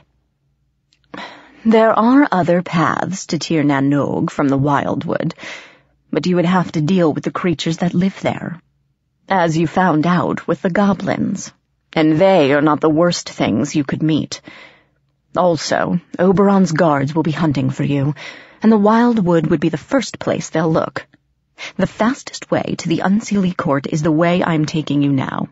So decide, human, do you still want to go? Doesn't look like I have a choice, does it? You keep saying that, Grimalkin observed. But there is always a choice, and I suggest we stop talking and keep moving. We are being followed. We kept going, wending our way through the briar tunnel, picking through the thorns until I lost all sense of time and direction. At first I tried avoiding the brambles snatching at me, but continued to be pricked and poked until I finally gave in and stopped bothering about it. Strangely, once I did, I was scratched a lot less. Once I stopped moving like a snail, Grimalkin set a steady pace through the brambles, and I followed as best I could. Occasionally I saw side tunnels spin off in other directions and caught glimpses of shapes moving through the brush, though I never got a clear look. We turned a corner and suddenly found a large cement tube in our path. It was a drainage pipe. I could see open air and blue sky through the hole. Oddly, it was sunny on the other side. The mortal world is through there, Grimalkin informed me. Remember, once we are through, we will not be able to return to the Never Never this way. We will have to find another Trod to go back. I know, I said. Grimalkin gave me a long, uncomfortable stare. Also, remember, human, you have been to the Never Never. The glamour over your eyes is gone. Though other mortals will not see anything strange about you, you will see things a little differently. So try not to overreact. Differently? Like how? Grimalkin smiled. You will see. We emerged from the drainage pipe to the sounds of car engines and street traffic, a shock after being in the wilderness for so long. We were in a downtown area, with buildings looming over us on either side. A sidewalk extended over the drainage pipe. Beyond that, rush hour traffic clogged the roads and people shuffled down the walkway, absorbed in their own small worlds. No one seemed to notice a cat and a scruffy, slightly bloodied teenager crawl out of a drainage ditch. Okay? Despite my worry, I was thrilled to be back in my own familiar world and astounded by the huge glass and metal buildings towering above me. The air here was cold, uncomfortably so, and dirty slush clogged the sidewalks and drains. Craning my neck, I gazed up at the looming skyscrapers, feeling slightly dizzy as they seemed to sway against the sky. There was nothing like this in my tiny Louisiana town. Where are we? Detroit. Grimalkin half closed his eyes, peering around the town and the people rushing by. One moment. It has been a while since I have been here. Let me think. Detroit, Michigan? Hush. As he was thinking, a large figure in a tattered red hoodie lurched out of the crowd and came toward us, clutching a bottle in a sack. He looked like a homeless person, though I'd never actually seen one. I wasn't too worried. We were on a well-traveled street with a lot of witnesses to hear me scream should he try anything. He would probably ask me for change or a cigarette and keep going. However, as he got close, he raised his head and I saw a wrinkled, bearded face with fangs jutting crookedly from its jaw. In the shadows of the hood, his eyes were yellow and slitted like a cat's. I jumped as the stranger leered and stepped closer. His stench nearly knocked me down. He smelled of roadkill and bad eggs and fish rotting in the sun. I gagged and nearly lost my breakfast. Pretty girl, the stranger growled, reaching out with a claw. You came from there, didn't you? Send me back now. Send me back. I backed away, but Grimalkin leaped between us, fluffed out to twice his size. His yowling screech jerked the man to a halt, and the bum's eyes widened in terror. With a gurgling cry, he turned and ran, knocking people aside as he fled. People cursed and looked around, glaring at one another, but none seemed to notice the fleeing bum. What was that? I asked Grimalkin. A Norgan. The cat sighed. Disgusting things. Terrified of cats, if you can believe it. He was probably banished from the Never Never at some point. That would explain his words to you, wanting you to send him back. I looked for the Norgan, but it had vanished into the crowd. Are all the Fae walking around the human world outcasts? I wondered. Of course not. Grimalkin's look was scornful, and no one does scornful better than a cat. Many choose to be here, going back and forth between this world and the Never Never at will, so long as they can find a trod. Some, like brownies or boggarts, haunt a house forever. Others blend into human society, posing as mortals, feeding off dreams, emotions, and talent. Some have been known to marry a particularly exceptional mortal, though their children are shunned by Faerie society, and the Fae parent usually leaves if things get too tough. Of course, there are those who have been banished to the mortal world. They make their way as best they can, but spending too much time in the human world does strange things to them. Perhaps it is the amount of iron and technology that is so fatal to their existence. They start to lose themselves, a little at a time, until they are only shadows of their former selves, empty husks covered in glamour to make them look real. Eventually, they simply cease to exist. I looked at Grimalkin in alarm. Could that happen to you? To me? I thought of my iPod, remembering the way Tansy leaped away from it in terror. I suddenly recalled the way Robbie was mysteriously absent from all of his computer classes. I'd simply thought he hated typing. I had no idea it was deadly to him. Grimalkin seemed unconcerned. If I stay here long enough, perhaps, maybe in two or three decades, though I certainly do not plan to stay that long. As for you, you are half human, your mortal blood protects you from iron and the banal effects of your science and technology.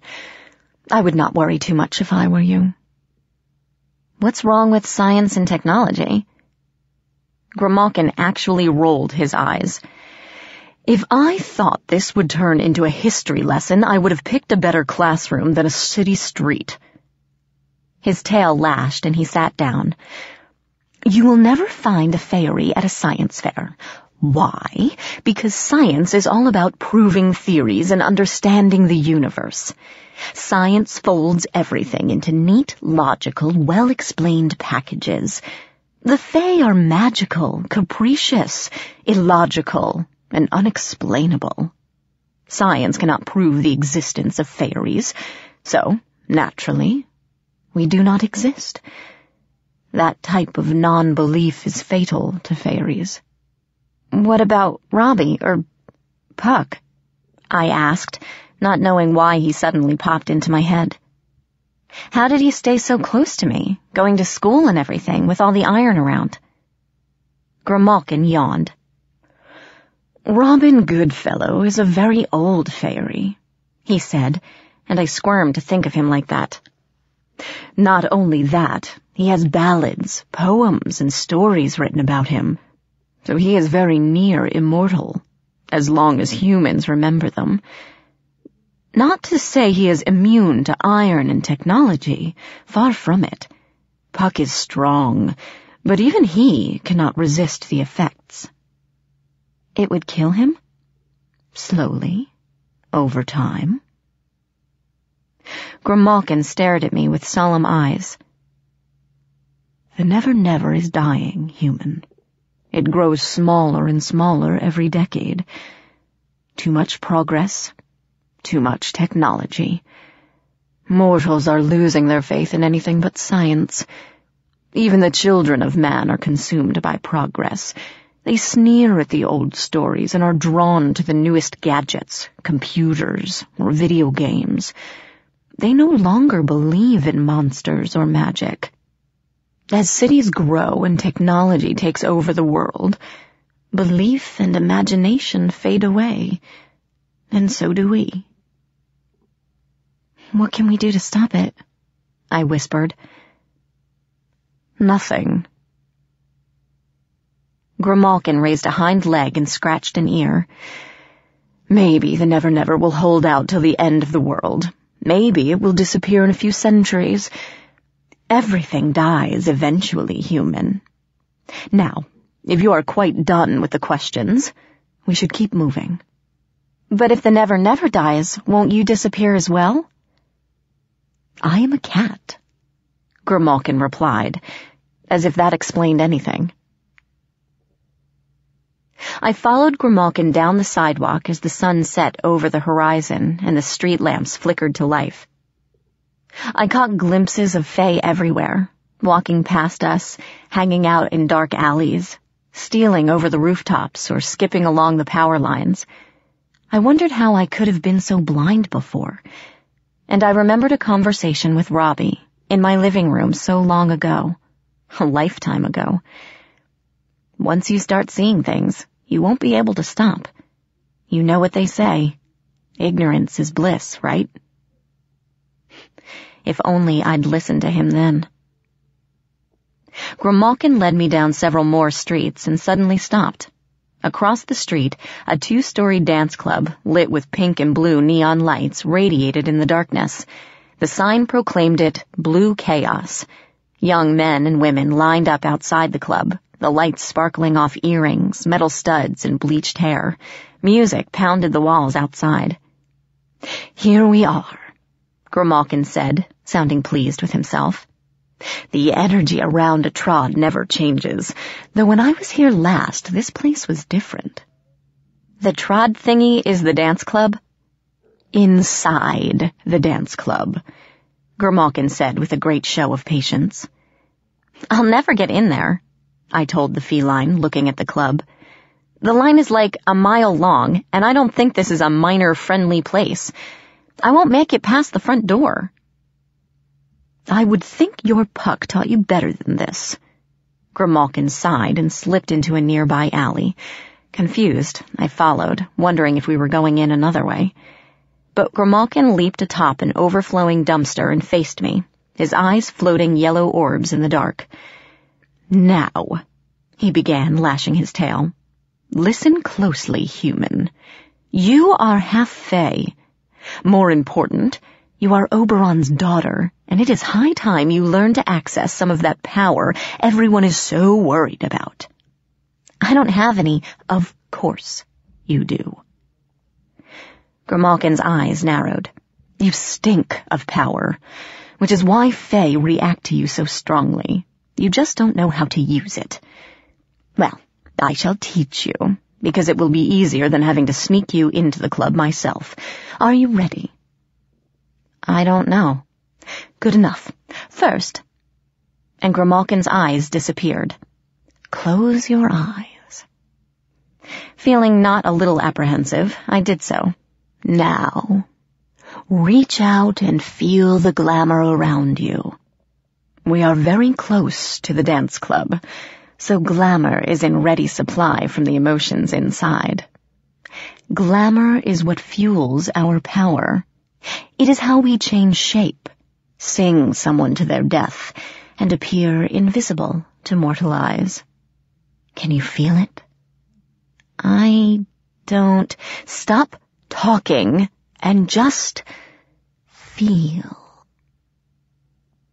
I tried, though I didn't know what I was supposed to experience, sensing nothing but my own discomfort and fear. And then, like an explosion of light on the inside of my eyes. I felt it. It was like color given emotion. Orange passion, vermilion lust, crimson anger, blue sorrow, a swirling, hypnotic play of sensations in my mind. I gasped and heard Grimalkin's approving purr. Yes, that is glamour. The dreams and emotions of mortals. Now, open your eyes. We are going to start with the simplest of fairy glamour, the power to fade from human sight, to become invisible. Still groggy from the torrent of swirling emotions, I nodded. All right, become invisible. Sounds easy. Grimalkin glared at me. Your disbelief will cripple you if you think like that, human. Do not believe this is impossible, or it will be. All right, all right, I'm sorry. I held up my hands. So, how will I do this? Picture the glamour in your mind. The cat half slitted its eyes again. Imagine it is a cloak that covers you completely. You can shape the glamour to resemble anything you wish, including an empty space in the air, a spot where no one is standing. As you drape the glamour over yourself, you must believe that no one can see you. Just so. The eyes vanished, along with the rest of the cat. Even knowing Grimalkin was capable of it, it was still eerie seeing him fade from sight right before my eyes. Now. The eyes opened again, and the cat's body followed. Your turn. When you believe you are invisible, we will go. What? Don't I get a practice run or something? All it takes is belief, human. If you do not believe you are invisible on the first try, it only gets more difficult. Let us go, and remember, no doubts. Right, no doubts. I took a breath and closed my eyes, willing the glamour to come. I pictured myself fading from sight, swirling a cloak of light and air around my shoulders and pulling up the hood. No one can see me, I thought, trying not to feel foolish. I'm invisible now. I opened my eyes and looked down at my hands. They were still there. Grimalkin shook his head as I looked up in disappointment. I will never understand humans, he muttered. With everything you have seen, magic, fae, monsters, and miracles, you still could not believe you could become invisible. He sighed heavily, leaping off the dumpster. Very well. I suppose I will have to get us in. This audiobook has been broken into multiple parts to make the download faster. You have reached the end of a part, but not the end of the complete audiobook, so please check your library for the next part of this audiobook. Audible hopes you have enjoyed this program. This is Audible.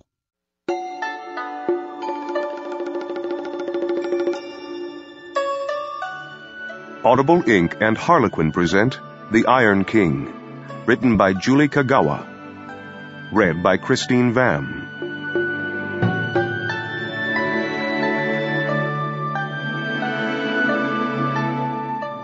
Chapter 14 Blue Chaos We stood in line for nearly an hour. All this could have been avoided if you just did what I told you. Grimalkin hissed for about the hundredth time.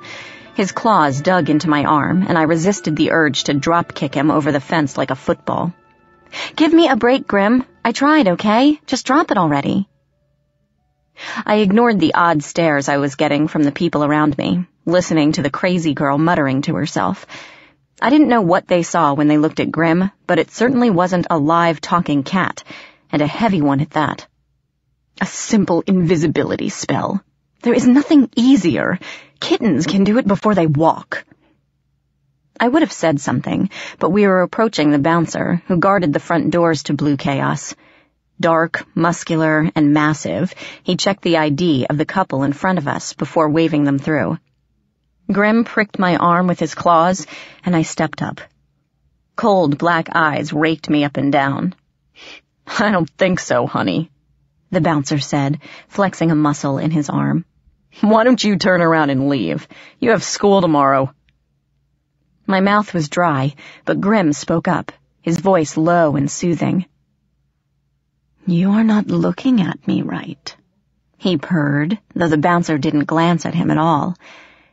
I am actually much older than I look. Yeah? He didn't seem convinced, but at least he wasn't throwing me out by the scruff of my neck. Let's see some ID then. Of course. Grim poked me, and I shifted his weight to one hand so I could hand my blockbuster card to the bouncer. He snatched it, peering at it suspiciously, while my stomach roiled and cold sweat dripped down my neck.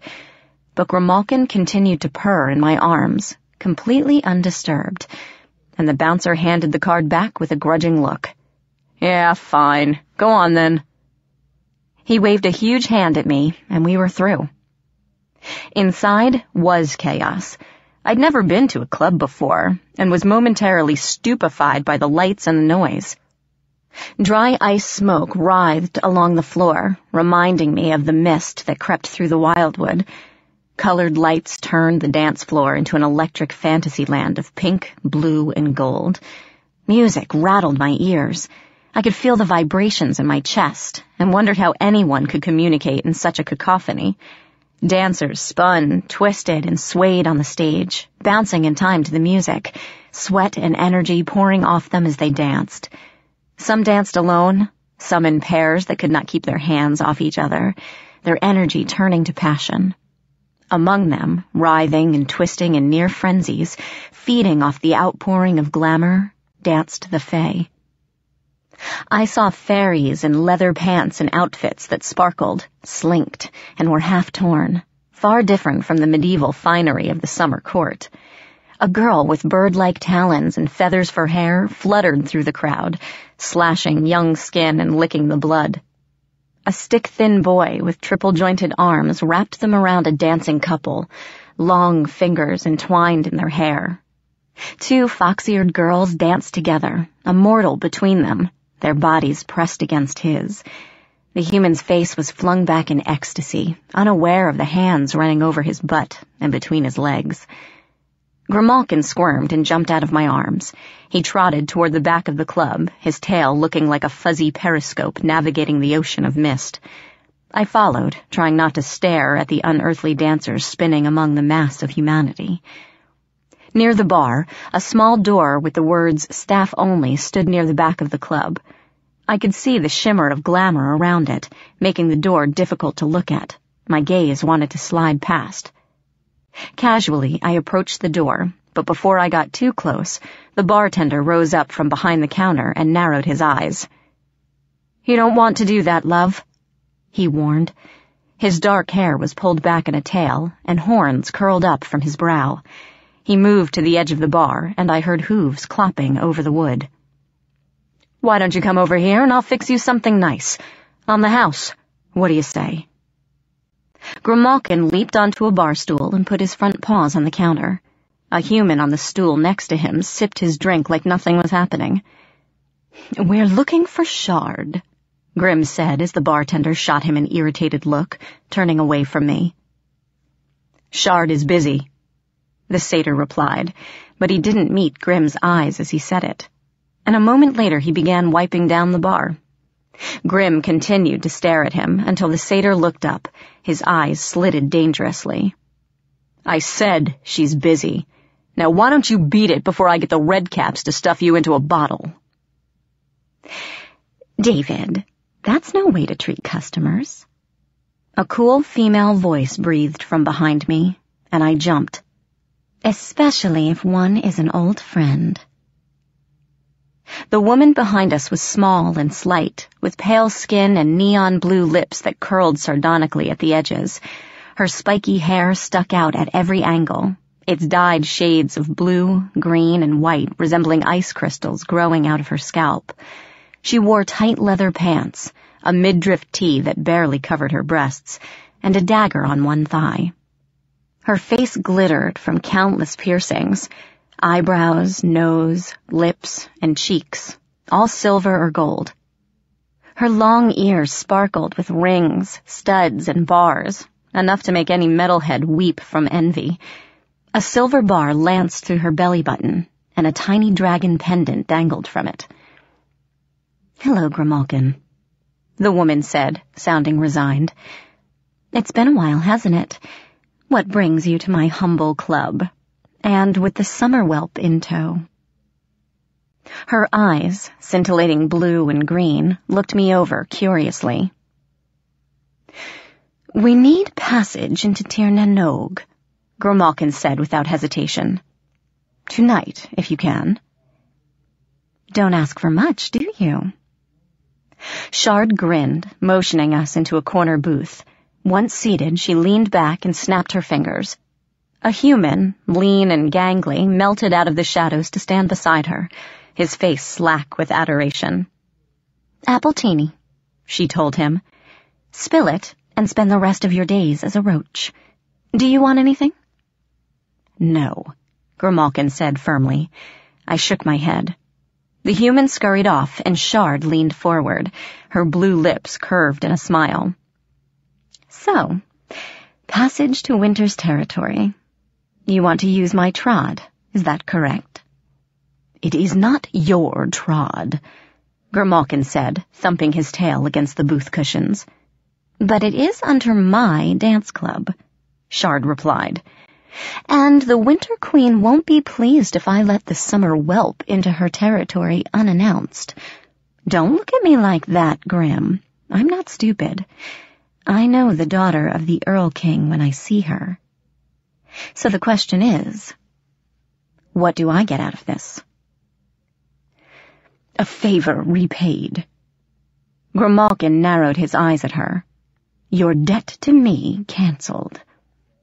That's fine for you, Shard said, and turned her leer on me. But what about this one? What can she offer? I swallowed. What do you want?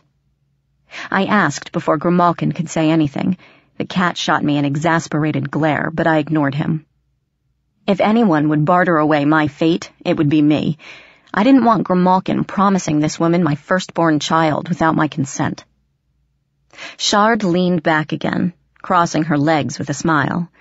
The gangly boy appeared with her drink, a green concoction with a tiny umbrella, and she sipped it slowly, her eyes never leaving mine. Hmm, that's a good question, Shard murmured, swirling her teeny thoughtfully. What do I want of you? It must be awfully important for you to get into Mab's territory. What would that be worth? She took another sip, appearing deep in thought. How about your name? She offered at last. I blinked. My... my name? That's right. Shard smiled disarmingly. Nothing much. Just promise me the use of your name, your true name, and we'll call it even, yes? The girl is young, Shard, Grimalkin said, watching us both with slitted eyes. She might not even know her true calling yet. That's all right. Shard smiled at me. Just give me the name you call yourself now, and we'll make do, yes? I'm sure I can find some use for it. No, I told her. No deal. You're not getting my name. Oh, well. Shard shrugged and raised the glass to her lips. I guess you'll have to find another way into Mab's territory then. She shifted toward the end of the booth. It has been a pleasure. Now, if you'll excuse me, I've a club to run. Wait! I blurted out. Shard paused, watching me expectantly. All right, I whispered. All right, I'll give you a name. After that, you'll open the trod, right? The fairy smiled, showing her teeth. Of course. Are you sure you want to do this? Grimalkin asked softly. Do you know what happens when you give a fairy your name? I ignored him.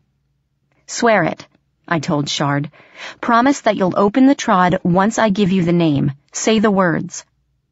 The fairy's smile turned vicious. Not as stupid as she first appears, she muttered and shrugged. Very well. I, Shard, keeper of the Chaos Trod, do swear to open the path once I have received payment in the form of a single name, spoken by the requesting party. She broke off and smirked at me. Good enough? I nodded. Fine. Shard licked her lips, looking inhumanly eager as her eyes gleamed. Now, give me the name. All right. I took a deep breath as my stomach twisted wildly. Fred Flintstone. Shard's face went blank. What? For one glorious moment, she looked utterly bewildered. That is not your name, Half-Blood. That's not what we agreed on. My heart pounded. Yes, it is, I told her, keeping my voice firm. I promise to give you a name, not my name. I've upheld my end of the contract. You have your name. Now show us the trod. Beside me, Grimalkin started sneezing, a sudden explosion of feline laughter. Shard's face remained blank a moment longer. Then cold rage crept into her features and her eyes turned black. Her quills bristled, and ice coated the glass in her hand before it shattered into a million sparkling pieces. You! Her gaze stabbed into me, cold and terrifying. I fought the urge to run screaming out of the club. You will regret this insolence, half-breed. I will not forget this, and will make you beg for mercy until your throat is raw from it. My legs trembled, but I stood and faced her. Not before you show us the trod. Grimalkin stopped laughing and jumped onto the table. You have been out-negotiated, Shard, he said, his voice still thick with amusement. Cut your losses and try again some other time. Right now, we need to be going. The fairy's eyes still glimmered black, but she made a visible effort to control herself. Very well, she said with great dignity. I will uphold my end of the bargain. Wait here a moment. I need to inform David that I'll be gone for a bit. She stalked away with her chin in the air, her spines quivering like icicles. Very clever, Grimalkin said softly as the fairy marched toward the bar.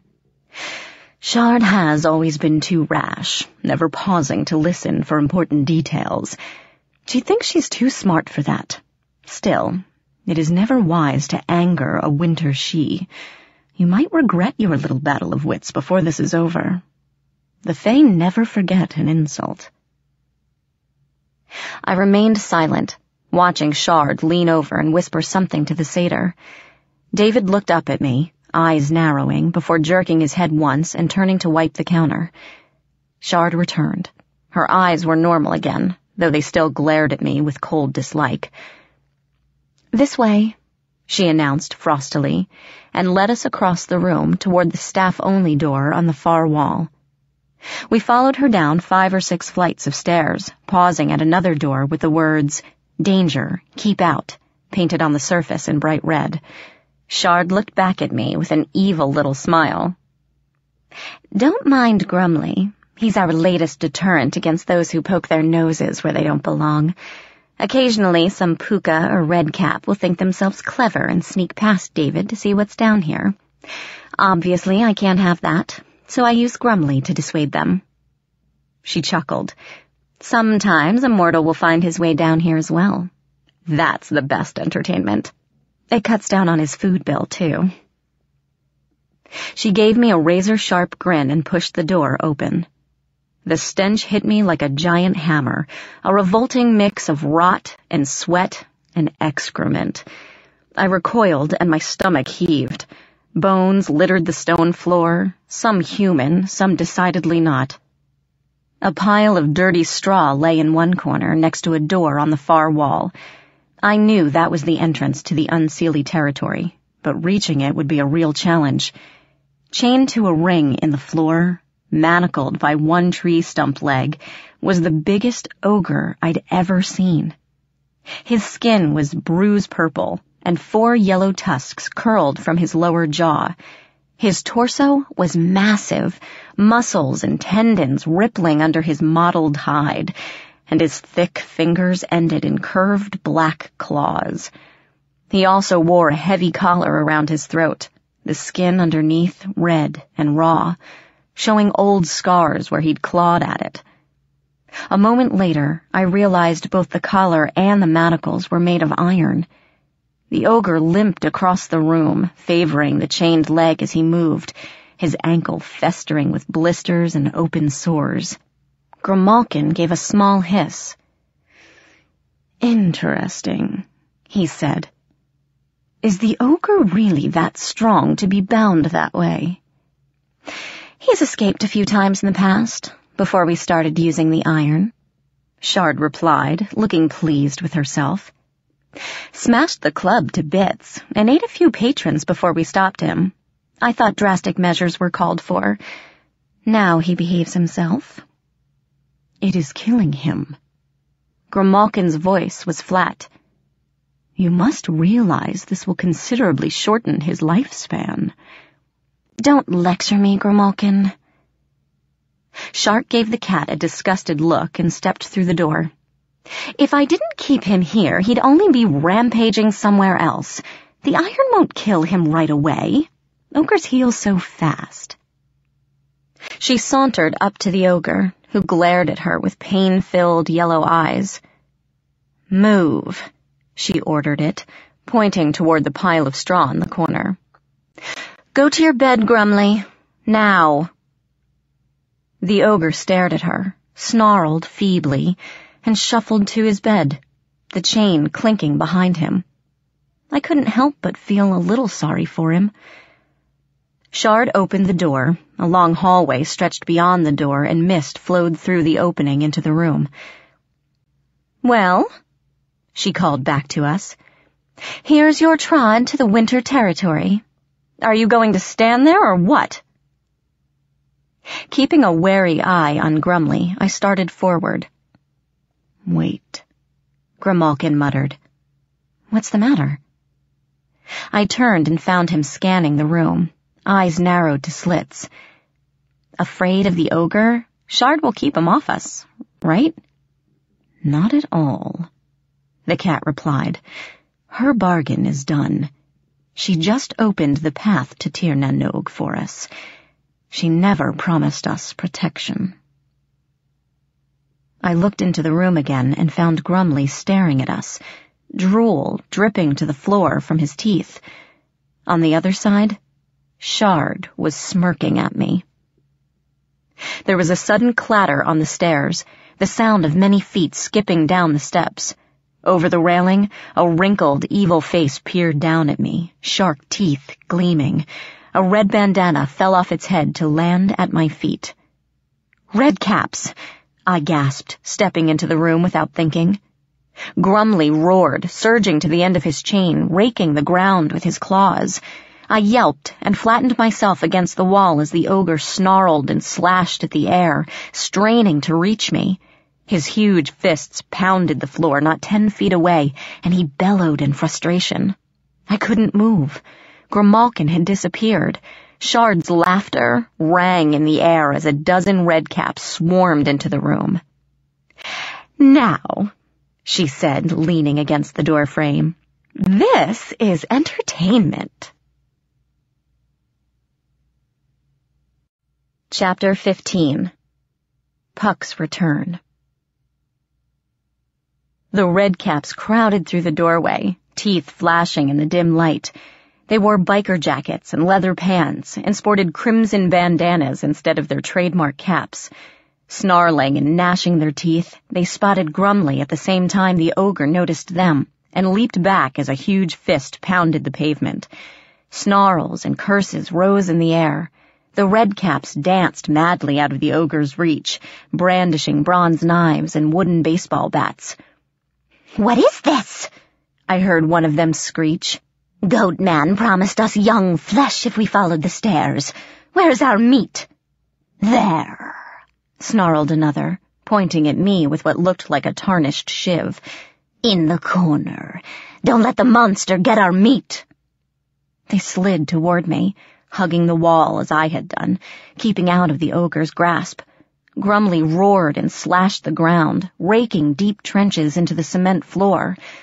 But the redcaps were small and quick, and he couldn't reach them. I watched in horror as the hideous face swarmed toward me, laughing and waving their weapons, and I couldn't move. I was about to be eaten alive, but if I ventured any farther into the room, Grumly would tear me apart. Through it all, I was aware of Shard, lounging in the other doorway, a self-satisfied smirk on her face. Do you like where our contract has gone, little bitch? She called over the bellows of Grumly and the clattering teeth of the redcaps. Throw me your real name and I might call them off. One of the redcaps leaped at me, jaws gaping, springing right for my face. I threw up my arm, and the jagged teeth sank into my flesh, clamping down like a steel trap. Shrieking, I flailed wildly, dislodging the repulsive weight and flinging it at the ogre. The redcap hit the ground and leaped to his feet, snarling, just as Grumley's fist smashed him into bloody paste. Time seemed to slow down. I guess that happens when you're about to die. The redcaps surged forward, shark teeth grinning and clacking. Grumly bellowed at the end of his chain, and Shard leaned against the doorframe and laughed.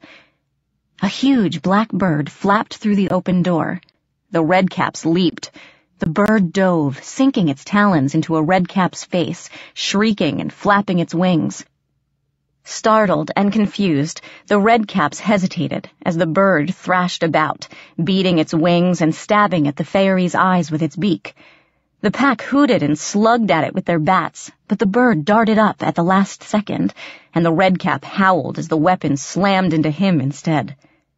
In the confusion, the bird exploded, changing shape in mid-air. A body dropped between me and the redcaps, shedding black feathers and giving me a familiar grin. Hi, Princess. Sorry I'm late. Traffic was a bitch. Puck!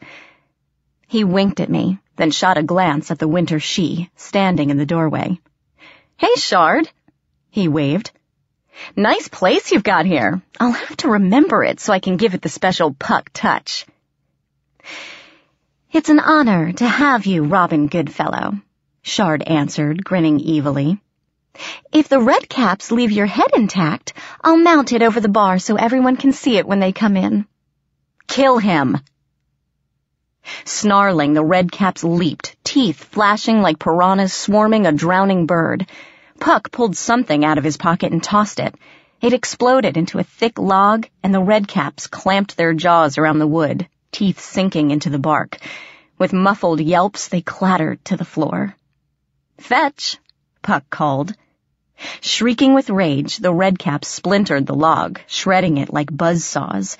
Teeth chattering, they spit wood chips and glared at us murderously. Puck turned to me with an apologetic look. Excuse me a moment, Princess. I have to go play with the puppies. He stepped toward them, grinning, and the redcaps lunged, brandishing knives and baseball bats. Puck waited until the last second before he dodged, into the room and away from the wall. The pack followed. I gasped as Grumley's fist hammered down but Puck leapt aside just in time, and a redcap was smashed flatter than a pancake. Whoops! Puck exclaimed, putting both hands to his mouth, even as he sidestepped Grumley's second swing. Clumsy of me! The redcap snarled curses and lunged at him again. They continued this deadly dance around the room, Puck leading the redcaps on with taunts, laughter, and cheers.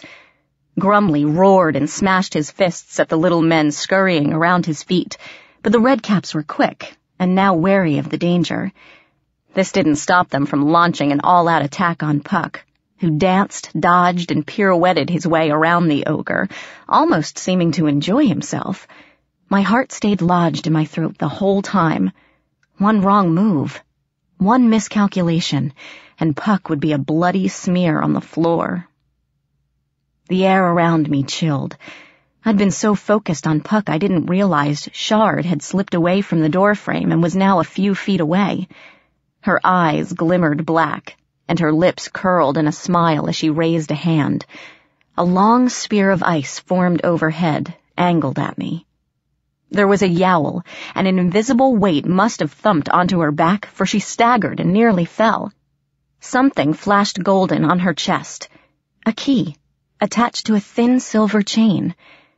With a curse, Shard flung the invisible assailant into the wall. There was a thud and a hiss of pain as Grimalkin materialized for a split second and winked out of sight again.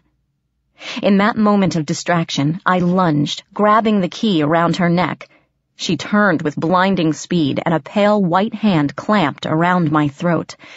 I gasped, clawing at her arm with my free hand, but it seemed to be made of stone.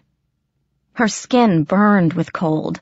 Ice crystals formed on my neck as Shard slowly tightened her grip, smiling. I sank to my knees as the room began to dim. With a fierce screech, Grimalkin landed on her back, sinking claws and teeth into her neck. Shard screamed, and the pressure on my throat disappeared. Lurching upright, I shoved the sidhe with all my might, pushing her away. There was a jerk and a tiny snap, and the key came loose in my hand. Coughing, I staggered away from the wall, looking up at the ogre. Grumley? I yelled, my voice raw and hoarse. Grumley, look at me. Listen to me. The ogre stopped pounding the floor and swung his tormented gaze to me. Behind me, a feline yowl cut through the air, and Grimalkin's body tumbled to the floor. Help us, I cried, holding up the key. It winked golden in the light. Help us, Grumly, and we'll free you. We'll set you free. Free me? Something smashed into the back of my head, nearly knocking me out. I collapsed, clutching the key as pain raged across my senses. Something kicked me in the ribs, flipping me to my back. Shard loomed overhead, her dagger in one raised hand. No! Grumly's bellow filled the room. Startled, Shard looked up, just realizing she was within the ogre's reach. Too late. Grumly's backhand smashed into her chest, hurling her into the wall with a nasty thud. Even the redcaps stopped chasing Puck around and looked back. I scrambled to my feet, ignoring the way my muscles screamed in protest. I staggered toward Grumly, hoping the ogre wouldn't forget and smash me into pudding.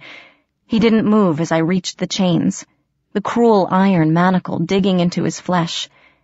Shoving the key into the hole, I turned it until it clicked. The iron band loosened and dropped away. Grumly roared, a roar filled with triumph and rage. He spun, surprisingly quick for his bulk, and kicked a redcap into the wall. Puck scrambled out of the way as the ogre raised a foot and stomped two more like roaches. The redcaps went berserk. Snarling and screeching, they swarmed Grumly's feet, pounding them with bats and sinking teeth into his ankles. Grumley stomped and kicked, barely missing me, and the ground shook with his blows.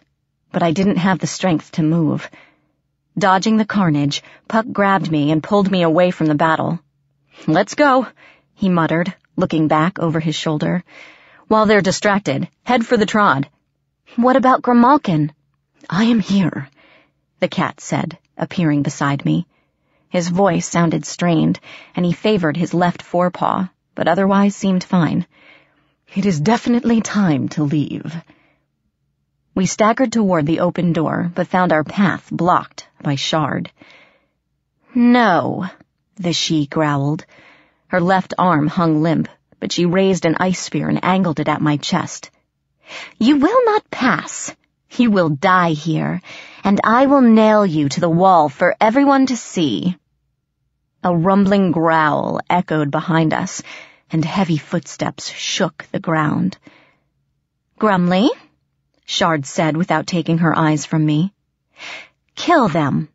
All is forgiven. Rip them apart. Slowly. Do it now. Grumly growled again, and a thick leg landed next to me. Friends, the ogre rumbled, standing over us.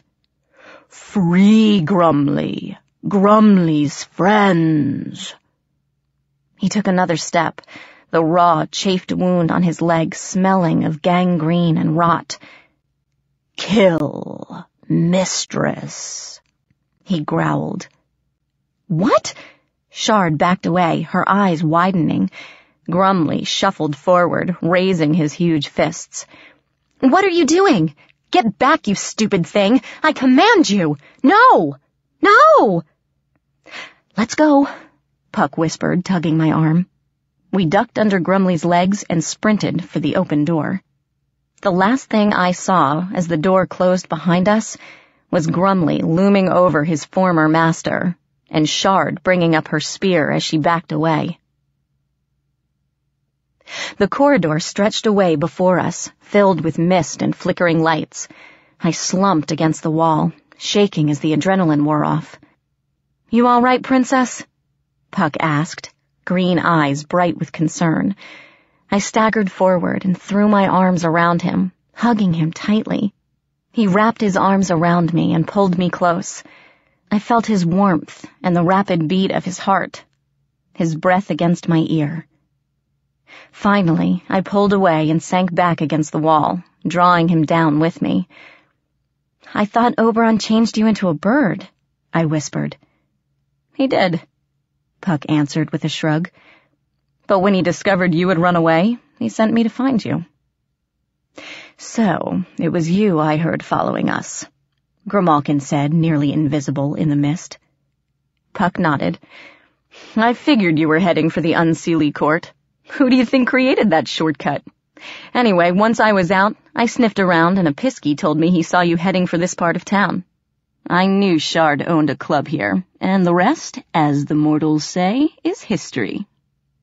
I'm glad you came, I said, standing up. My legs felt a bit stronger now, and the shaking had almost stopped. You saved my life. Again. And I know you might not want to hear it, but thanks. Puck gave me a sidelong glance that I didn't like at all. Don't thank me just yet, Princess. Oberon was quite upset that you had left the safety of the Seelie territories. He rubbed his hands and looked uncomfortable. I'm supposed to bring you back to court. I stared at him, feeling as though he'd just kicked me in the stomach. But you won't, right? I stammered. He looked away, and my desperation grew. Puck, you can't. I have to find Ethan. I have to go to the Unseelie court and bring him home.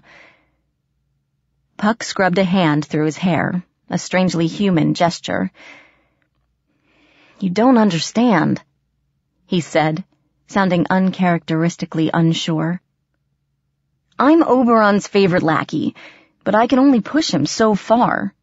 If I fail him again, I might end up a lot worse than a raven for two centuries. He could banish me from the Never Never for all time. I'd never be able to go home. Please, I begged, taking his hand. He still didn't look at me. Help us. Puck, I've known you forever. Don't do this. I dropped his hand and stared at him, narrowing my eyes. You realize you'll have to drag me back kicking and screaming, and I'll never speak to you again. Don't be like that. Puck finally looked up. You don't realize what you're doing. If Mab finds you, you don't know what she's capable of. I don't care. All I know is my brother is still out there, in trouble. I have to find him. And I'm going to do it with or without your help. Puck's eyes glittered. I could cast a charm spell over you, he mused, one corner of his lip quirking up. That would solve a lot of problems. No. Grimalkin spoke up before I could explode. You will not. And you know you will not, so stop posturing. Besides, I have something that might solve this little problem. Oh? A favor. Grimalkin waved his tail languidly. From the king. That won't stop Oberon from banishing me. No, Grimalkin agreed, but I could request that you be banished for a limited time only. A few decades or so. It is better than nothing. Uh-huh. Puck sounded unconvinced. And this would just cost me a small favor in return, is that right? You pulled me into this conflict the moment you dropped this girl into my tree, Grimalkin said, blinking lazily. I cannot believe that was an act of coincidence, not from the infamous Robin Goodfellow. You should have known it might come to this. I know better than to make deals with a cait sith. Puck shot back, then sighed, scrubbing a hand over his eyes. Fine, he said at last. You win, princess. Freedom is highly overrated anyway. If I'm going to do anything, I might as well do it big. My heart lifted. So you'll help us? Sure, why not? Puck gave me a resigned smile. You'd get eaten alive without me. Besides, storming the Unseelie court? His grin widened. Can't pass that up for anything. Then let us go, Grimalkin said as Puck pulled me to my feet. The longer we tarry, the farther word will spread about our intentions. Tir na Nog is not far now. He turned and trotted down the corridor, his tail held upright in the fog. We followed the hallway for several minutes. After a while, the air turned cold and sharp. Frost coated the walls of the corridor, and icicles dangled from the ceiling. We are getting close, came Grimalkin's disembodied voice in the mist.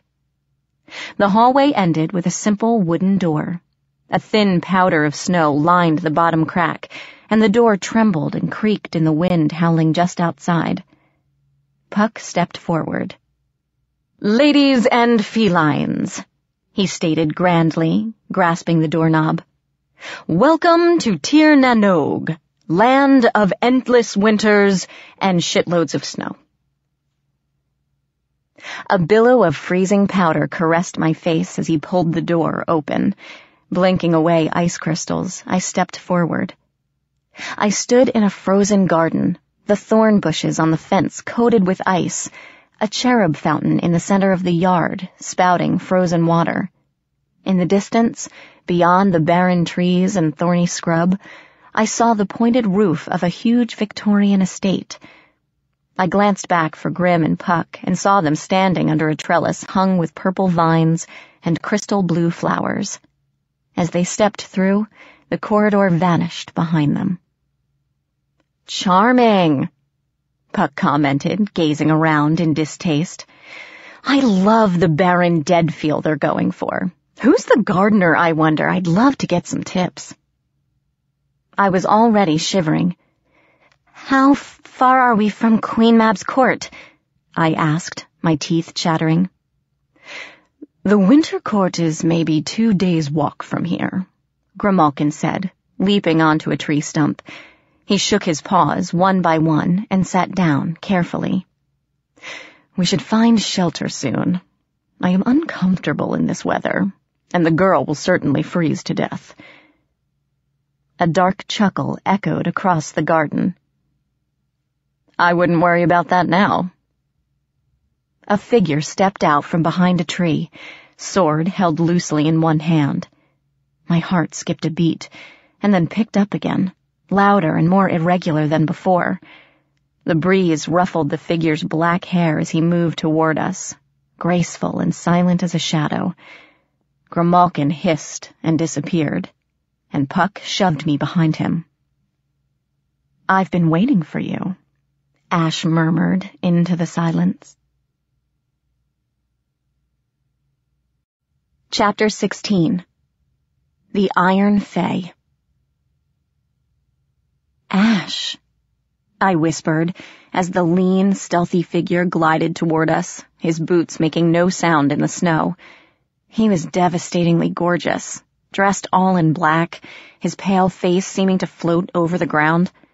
I remembered the way he smiled, the look in his silver eyes as we danced. He wasn't smiling now, and his eyes were cold. This wasn't the prince I'd danced with Elysium night. This wasn't anything but a predator. Ash, Puck repeated in a conversational tone, though his face had gone hard and feral. What a surprise to see you here. How did you find us? It wasn't difficult. Ash sounded bored.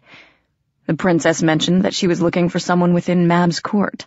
There are only so many ways into Tir na Nog from the mortal world, and Shard doesn't exactly make it a secret that she guards the trod. I figured it was only a matter of time before you came here. Very clever, Puck said, smirking. But then, you were always the strategist, weren't you? What do you want, Ash? Your head, Ash answered softly. On a pike. But what I want doesn't matter this time. He pointed his sword at me. I've come for her. I gasped as my heart and stomach began careening around my chest. He's here for me. To kill me, like he promised at Elysium. Over my dead body. Puck smiled, as if this was a friendly conversation on the street, but I felt muscles coiling under his skin. That was part of the plan. The prince raised his sword, the icy blade wreathed in mist. I will avenge her today, and put her memory to rest. For a moment, a shadow of anguish flitted across his face, and he closed his eyes. When he opened them, they were cold and glittered with malice. Prepare yourself. Stay back, Princess, Puck warned, pushing me out of the way. He reached into his boot and pulled out a dagger, the curved blade clear as glass. This might get a little rough. Puck, no! I clutched at his sleeve. Don't fight him. Someone could die. Duels to the death tend to end that way. Puck grinned, but it was a savage thing, grim and frightening.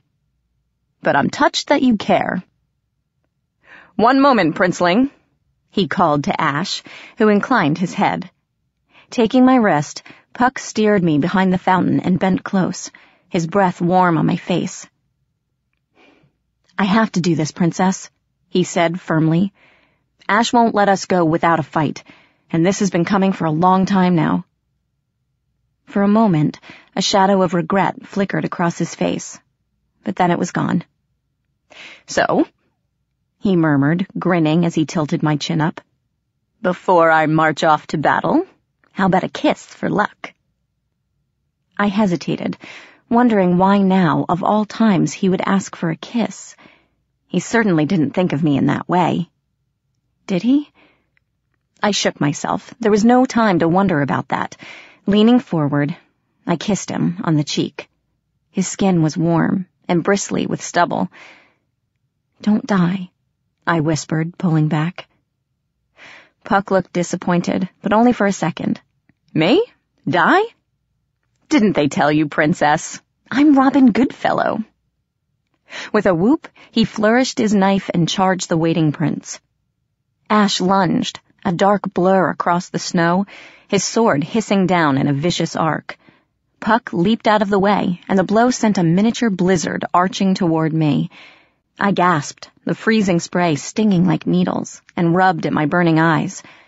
When I could open them again, Ash and Puck were deep in battle, and it looked like each was intent on killing the other. Puck ducked a savage blow and tossed Ash something from his pocket. It erupted into a large boar, squealing madly as it charged the prince, tusks gleaming. The ice sword hammered into it, and the boar exploded in a swirl of dry leaves. Ash flung out his arm, and a spray of glittering ice shards flew toward Puck like daggers. I cried out, but Puck inhaled and blew in their direction, like he was blowing out a birthday candle. The shards shimmered into daisies, raining harmlessly around him, and he grinned. Ash attacked viciously, his blade singing as he bore down on his opponent. Puck dodged and parried with his dagger, retreating before the onslaught of the Winter Prince. Diving away, Puck snatched a handful of twigs from the base of the tree, blew on them, and tossed them into the air. And now there were three Pucks, grinning wickedly as they set upon their opponent. Three knives flashed, three bodies surrounded the Dark Prince, as the real Puck leaned against the tree and watched Ash struggle. But Ash was far from beaten. He spun away from the Pucks, his sword a blur as he dodged and parried, whirling from one attack to the next. He ducked beneath an opponent's guard, ripped his blade up, and sliced cleanly through a Puck's stomach. The doppelganger split in two, changing into a severed stick that dropped away. Ash spun to meet the Puck rushing up from the side. His sword whirled, and Puck's head dropped from his shoulders before reverting to a twig. The last Puck charged the prince from behind, dagger raised high. Ash didn't even turn, but rammed his blade backward, point up. Puck's lunge carried him into the blade and drove it through his stomach, the point erupting out his back. The prince yanked the sword free without turning, and a shattered twig dropped to the snow. Ash lowered his sword, gazing around warily. Following his gaze, I gave a start. Puck had disappeared, pulling a grimalkin while we were distracted. Instantly wary, the Winter Prince scanned the garden, edging forward with his sword raised. His gaze flicked to me, and I tensed. But he dismissed me almost as quickly, stepping beneath the boughs of a frozen pine. As Ash stepped under the branches, something leaped out of the snow, howling. The prince dodged, the knife barely missing him, and Puck overbalanced, stumbling forward. With a snarl, Ash drove the point of the sword through Puck's back and out his chest, pinning him to the ground. I screamed, but as I did, the body vanished. For a split second, Ash stared at the pierced leaf on his sword tip, then threw himself to the side as something dropped from the tree, dagger flashing in the light. Puck's laughter rang out as Ash rolled to his feet, clutching his arm. Blood seeped between pale fingers. Almost too slow that time, Prince, Puck mocked, balancing the dagger on two fingers. Really, that's the oldest trick in the book. I know, 'cause I wrote the book. I've got a million more if you want to keep playing. I'm getting tired of sparring with copies. Ash straightened, dropping his hand. I guess honor isn't as prevalent in the Seelie court as I thought. Are you the real Puck? Or is he too cowardly to face me himself? Puck regarded him disdainfully before shimmering into nothingness. Another Puck stepped out from behind a tree, a nasty grin on his face. All right then, Prince, he said, smirking as he approached. If that's what you want, I'll kill you the old-fashioned way. And they flew at each other again. I watched the battle, my heart in my throat, wishing I could do something. I didn't want either of them to die, but I had no idea how to stop this. Shouting or rushing between them seemed like a really bad idea. One could be distracted, and the other would waste no time finishing him off. A sick despair churned in my stomach. I hadn't realized Puck was so bloodthirsty, but the mad gleam in his eyes told me he would kill the Winter Prince if he could. They have a history, I realized, watching Ash cut viciously at Puck's face, barely missing as his opponent ducked. Something happened between them to make them hate each other. I wonder if they were ever friends. My skin prickled, an uneasy shiver, from more than the cold. Over the clang and screech of metal, I heard something else, a faint rustling, as if a thousand insects were scuttling toward us. Run! Grimalkin's voice made me jump. Tracks appeared in the snow, rushing toward me, and invisible claws scrabbled against bark as the feline fled up a tree. Something is coming! Hide! Quickly! I glanced at Puck and Ash, still locked in combat. The rustling grew louder, accompanied by static and faint, high-pitched laughter. Suddenly, through the trees, Hundreds of eyes glowed electric green in the darkness, surrounding us. Puck and Ash stopped fighting and broke apart, finally aware that something was wrong. But it was too late. They poured over the ground like a living carpet, appearing from everywhere. Small, black-skinned creatures with spindly arms, huge ears, and razor grins that shone blue-white in the darkness. I heard the boy's cries of shock and Grimalkin's yowl of horror as he fled farther up the tree. The creatures spotted me, and I had no time to react. They swarmed me like angry wasps, crawling up my legs, hurling themselves onto my back. I felt claws dig into my skin, my ears filled with loud buzzing and shrieking laughter, and I screamed, thrashing wildly. I couldn't see, didn't know which way was up. The weight of their bodies bore me down, and I fell onto a grasping, wriggling mass. Hundreds of hands lifted me up, like ants carrying a grasshopper, and began to cart me away. Puck! I screamed, struggling to free myself, but whenever I rolled away from one group, a dozen more slid in to take their place, bearing me up. I never touched the ground. Grimalkin! Help! Their cries seemed distant and far away. Carried on a buzzing, living mattress, I glided rapidly over the ground and into the waiting darkness. I don't know how long they carried me. When I struggled, the claws gripping me would dig into my skin, turning the mattress into a bed of needles. I soon ceased thrashing about and tried to concentrate on where they were taking me. But it was difficult. Being carried on my back, the only thing I saw clearly was the sky.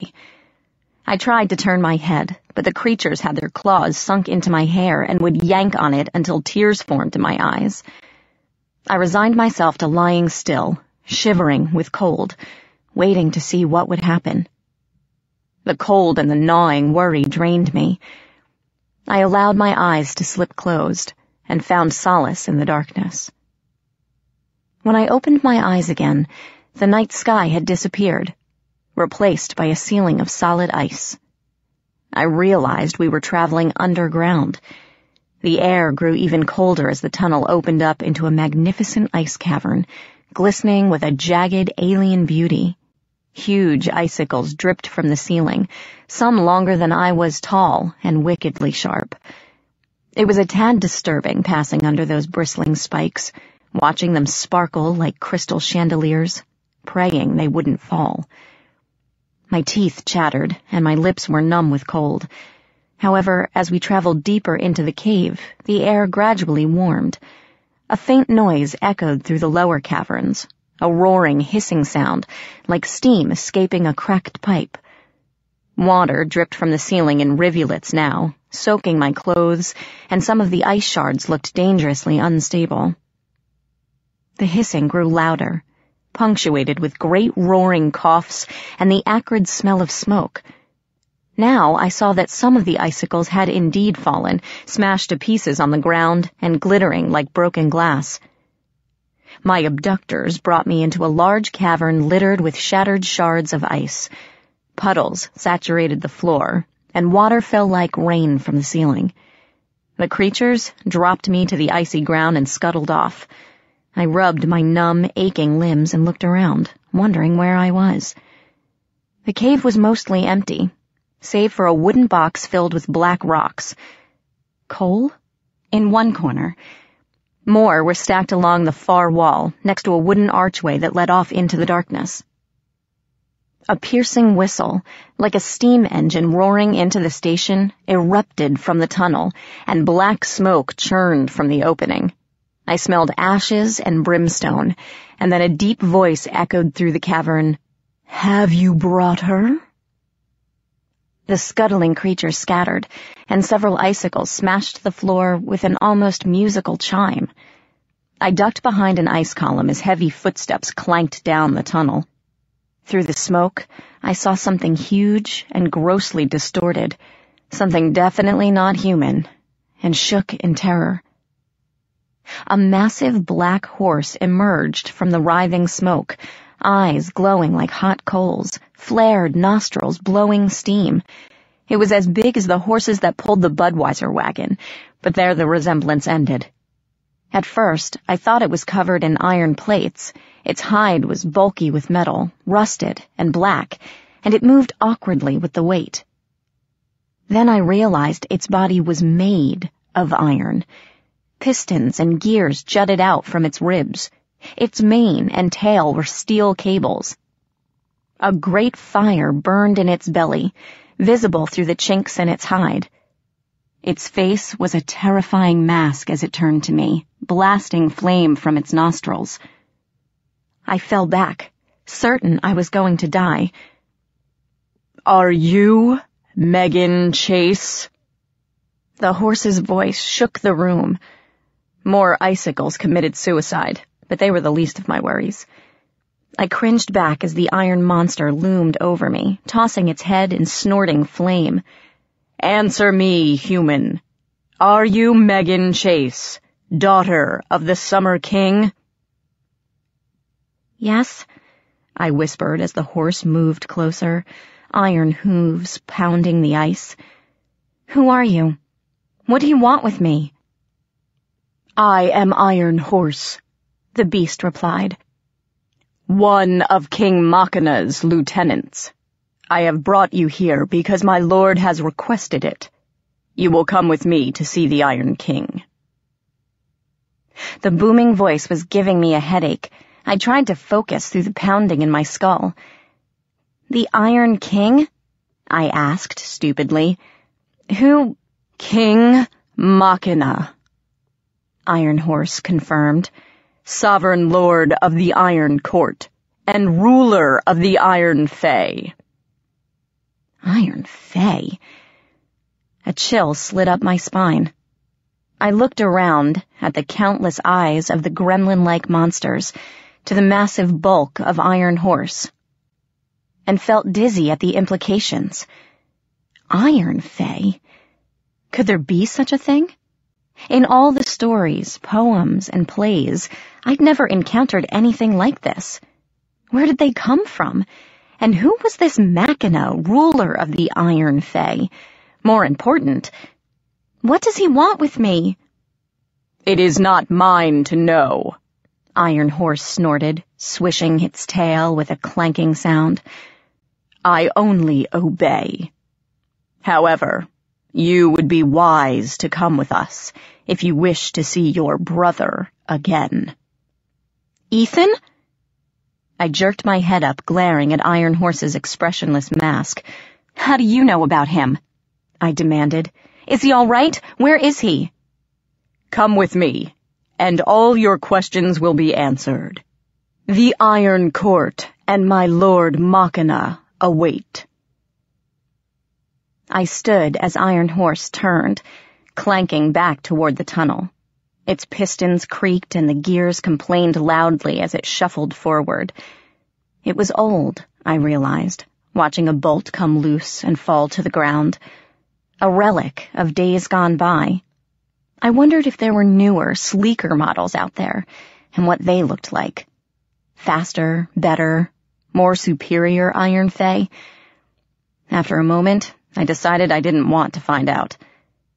Iron Horse stood at the mouth of the tunnel, stamping impatiently. Sparks flew from its hooves as it glowered at me. Come, it ordered with a blast of steam from its nostrils. Follow the Trod to the Iron Court. If you will not walk, the gremlins will carry you. It tossed its head and reared, flames shooting out its muzzle. Or perhaps I will run behind you, breathing fire. An ice spear flew through the air, striking Iron Horse between the ribs, bursting into steam as the fire engulfed it. The horse screamed, a high-pitched whistle, and whirled, hooves sparking as they struck the ice. The gremlin skittered forward, gazing wildly about, searching for intruders. Hey, Ugly, called a familiar voice. Nice place you've got here. Here's a thought, though. Next time, try a hideout a little more resistant to fire than an ice cave. Puck! I cried, and the red-haired elf waved at me, grinning from the far side of the cavern. Iron Horse screamed and charged, scattering gremlins like birds as he bore down on Puck. Puck didn't move, and the great iron beast knocked him flat in the ice, trampling him with his steel hooves. Oh, that looked painful, called another puck a little farther down. We really need to talk about your anger management issues. With a roar, Iron Horse charged the second puck, moving farther away from me and the trod. The gremlins followed, laughing and hissing, but kept a fair distance from the raging beast and its hooves. A cool hand clamped over my mouth, muffling my startled shriek, I turned to gaze into glittering silver eyes. Ash? This way, he said in a low voice, tugging on my hand, while the idiot has them distracted. No, wait, I whispered, pulling back. He knows about Ethan. I have to find my brother. Ash narrowed his eyes. Hesitate now and Goodfellow will die. Besides, he reached out and took my hand again. I'm not giving you a choice. Dazed, I followed the Winter Prince along the wall of the cavern, too stunned to ask why he was helping me. Didn't he want to kill me? Was this rescue just to get me alone to finish the job in peace? But that didn't make any sense. He could have just killed me while Puck was distracted with Iron Horse. Hello! Puck's voice echoed farther down the cavern. Sorry, Ugly. Wrong me. Keep going. I'm sure you'll get it right next time. Iron Horse looked up from stomping a fake puck into the ground, crimson eyes blazing with hate. Seeing yet another puck, it tensed iron muscles to charge, when one of the gremlins spotted us sneaking along the wall and gave a yelp of alarm. Iron Horse whirled, eyes flaring as they settled on us. Ash muttered a curse. With a bellow and a blast of flame from its nostrils, it charged, bearing down on us like the steam engine it was named for. Ash drew his sword and flung a shower of ice shards at the monster. They shattered harmlessly on its armored hide, doing nothing but enraging it further. As the roaring, flaming bulk of metal descended, Ash shoved me out of the way and dove forward, the flailing hooves missing him by inches. Rolling to his feet behind the monster, he cut at its flank, but Iron Horse plunged its head down and kicked him in the ribs. There was a sickening crack, and Ash was hurled away, crumpling to the floor in a heap. A screaming flock of ravens descended on Iron Horse before it could stomp Ash into the ground. They swirled around its head, pecking and clawing, and Iron Horse roared as it lashed out at the flock, blasting them to cindery bits. Ash staggered to his feet as Puck appeared beside him, grabbing my hand. Time to go, he announced cheerfully. Prince, either keep up or get left behind. We're leaving. We ran through the caverns, slipping on ice and slush, the insane roars of Iron Horse and the hissing of the gremlins on our heels. I didn't dare look back. The cavern shook, and icicles smashed to the ground all around us, spraying me with stinging shards, but we kept going. A fuzzy gray shape bounded toward us, tail held high. You found her, Grimalkin said, stopping to glare at Puck. Idiot. I told you not to fight the horse thing. Can't talk now, little busy at the moment. Puck gasped as we tore past the feline, continuing down the tunnel. Grimalkin flattened his ears and joined us as the shrieks of the gremlins ricocheted off the walls. I could see the mouth of the cave, dripping with icicles, and put on a burst of speed. Iron Horse bellowed, and an ice shard smashed down inches from my face. Collapse the cave! Grimalkin shouted, bounding along beside us. Bring the ceiling down on their heads. Do it! He zipped away, through the cave entrance, and was gone. We burst out of the cave moments later, gasping, stumbling in the snow. Looking back, I saw dozens of green eyes skittering forward, heard the pounding hooves of Iron Horse as he followed close behind. Keep going! Ash cried and whirled around. Closing his eyes, he brought a fist to his face and bowed his head. The gremlins swarmed toward him, and the red glow of Iron Horse appeared, flames streaming in the darkness. Ash opened his eyes and flung out a hand. A low rumble shook the ground, and the cave trembled. Huge clumps of icicles shivered, wobbling back and forth, as the gremlins reached the mouth of the cave, the entire ceiling collapsed with a roar and a sound like breaking glass. Gremlins shrieked as they were crushed under several tons of ice and rock, and the dismayed bellow of Iron Horse rose above the cacophony. The noise died away, and silence fell.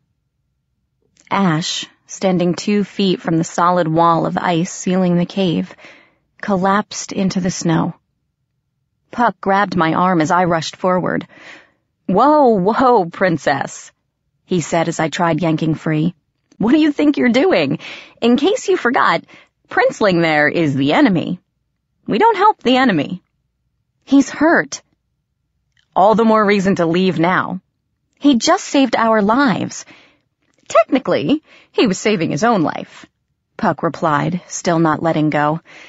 I shoved him, hard, and he finally released me. Look, princess. He sighed as I glared at him. Do you think Ash will play nice now? The only reason he helped, the only reason he agreed to a truce, was so he could bring you to Mab. She wants you alive. To use as leverage against Oberon. That's the only reason he came along. If he wasn't hurt, he'd be trying to kill me now. I looked at Ash, lying motionless in the snow. Flakes speckled his body. Soon they would hide him completely. We can't just leave him to die. He's a winter prince, Meghan. He won't freeze to death, trust me. I scowled at him. You're just as bad as they are. He blinked, startled, and I turned away from him. I'm going to see if he's all right, at least. Either come along or get out of my way. Puck threw up his hands. Fine, princess. I'll help the son of Mab, eternal enemy of our court, even though he'll probably stick a sword in my back the second my guard is down. I wouldn't worry about that, Ash muttered, rising slowly to his feet. One hand gripped his sword, the other arm was wrapped around his ribs. He shook the snow from his hair and raised his weapon. We can continue now, if you like. Grinning, Puck pulled his dagger. I'd be thrilled, he muttered, taking a step forward. This won't take long at all. I threw myself between them. Stop it! I hissed, glaring at both in turn. Stop it right now! Put your weapons down, both of you! Ash, you're in no condition to fight. And Puck? Shame on you, agreeing to duel with him when he's obviously hurt. Sit down and shut up. They blinked at me, astounded, but slowly lowered their weapons. A sneezing laugh rang out in the branches of a tree, and Grimalkin peered down, swishing his tail in mirth. A daughter of Oberon after all, he called, baring his teeth in a feline grin. Queen Titania would be proud. Puck shrugged and flopped down on a log, crossing his arms and legs. Ash continued to stand, watching me with an unreadable expression. Ignoring Puck, I walked up to him. His eyes narrowed, and he tensed, raising his sword. But I wasn't afraid. For the first time since I came here, I wasn't afraid at all. Prince Ash, I murmured, drawing closer. I propose we make a deal. Surprise flickered across his face. We need your help, I continued, gazing straight into his eyes. I don't know what those things were, but they called themselves Iron Fae. They also mentioned someone called Machina, the Iron King. Do you know who that is? The Iron King. Ash shook his head. There is no one by that name in the courts. If this King Machina exists, he is a danger to all of us. Both courts will want to know about him and these Iron Fae. I need to find him, I said, forcing as much determination into my voice as I could. He's got my brother. I need you to help us escape the Unseelie territory and find the court of the Iron King.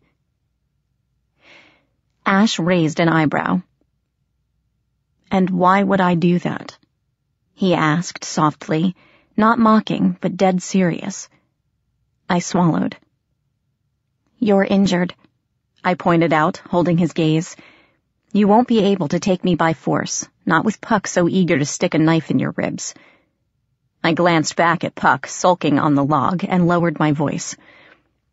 Here's my bargain. If you help me find my brother and get him safely home, then I'll go with you to the Unseelie court, without a fight, from me or Puck. Ash's eyes gleamed. He means that much to you. You would exchange your freedom for his safety. I took a deep breath and nodded. Yes.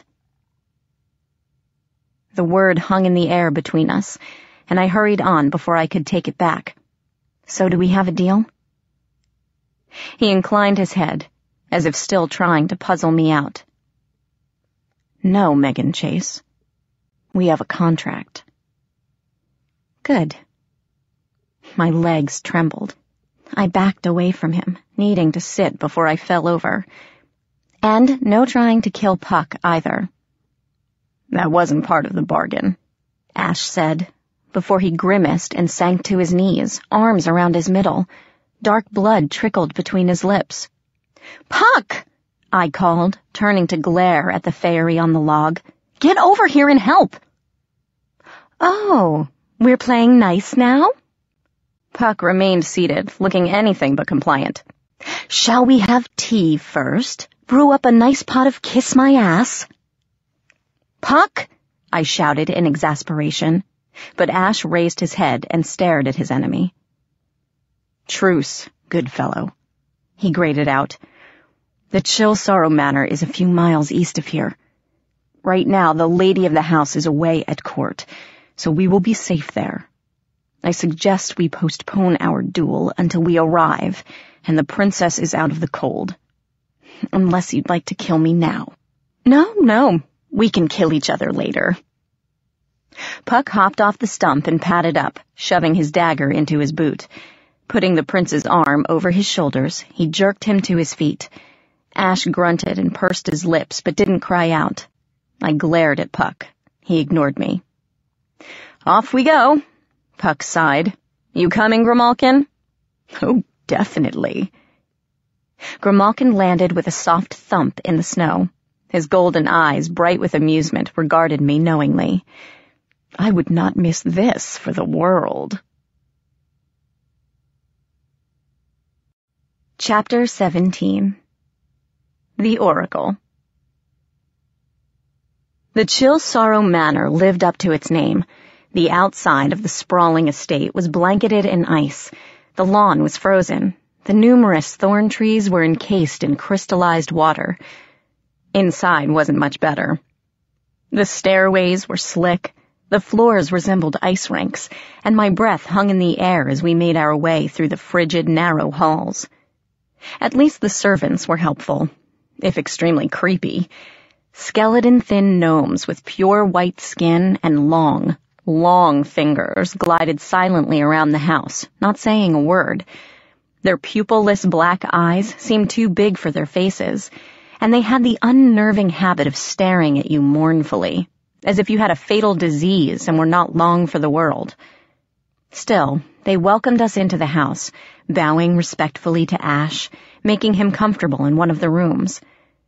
The biting chill didn't affect the Winter Prince, though I was shaking, teeth chattering, until one of the servants offered me a heavy quilt and padded off without a word. Clutching the quilt gratefully, I peeked into the room where Ash sat on a bed surrounded by icy gnomes. His shirt was off, showing his lean, muscular arms and chest. He was built more like a dancer or martial artist than a bodybuilder. The elegant frame hinting at a grace a human simply could not match. His tousled black hair fell into his eyes, and he absently raked it out of his face. My stomach fluttered weirdly as I backed out into the hall. What are you doing? I asked myself, appalled. That is Ash, Prince of the Unseelie Court.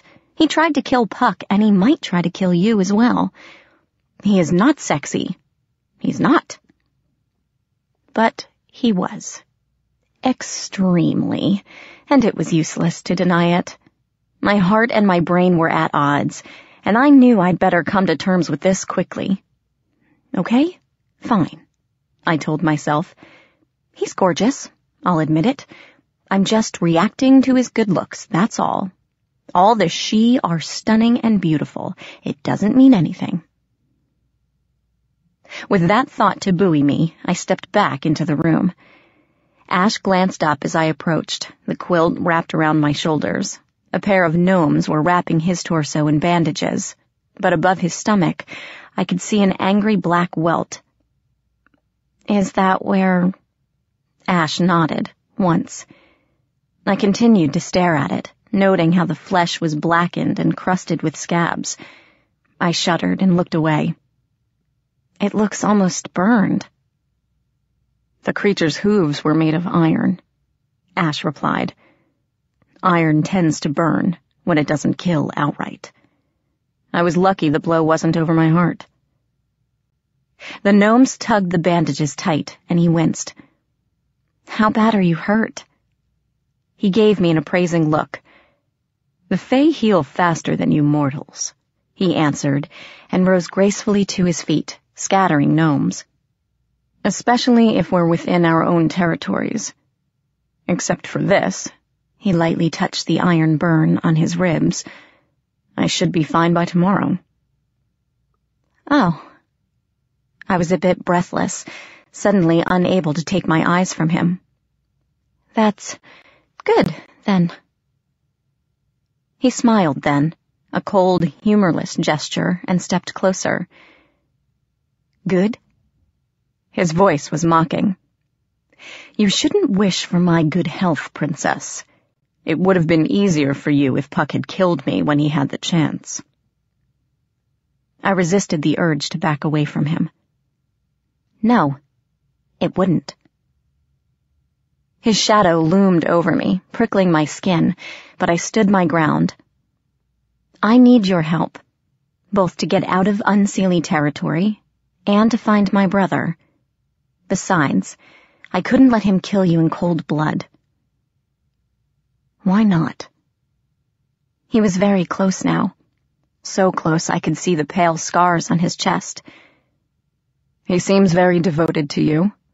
Perhaps you'll wait until we leave Tir na Nog to have him stab me in the back. What would happen if we fought again, and I killed him? Stop it. I glared at him, meeting his eyes. Why are you doing this? I gave you my word. Why are you pulling this crap now? Just want to see where you stand, princess. Ash backed up a step, no longer smiling. I'd like to get a feel for my enemies before we engage in combat. See what their strengths and weaknesses are. We aren't in combat. Combat doesn't have to be with swords. Ash walked back to the bed, drawing his blade and examining the gleaming length. Emotions can be deadly weapons, and knowing your enemy's breaking point can be key to winning a battle.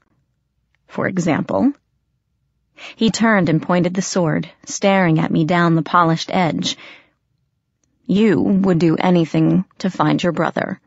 Put yourself in danger. Bargain with the enemy. Give up your own freedom, if it means saving him. You'd likely do the same for your friends, or anyone else you care about.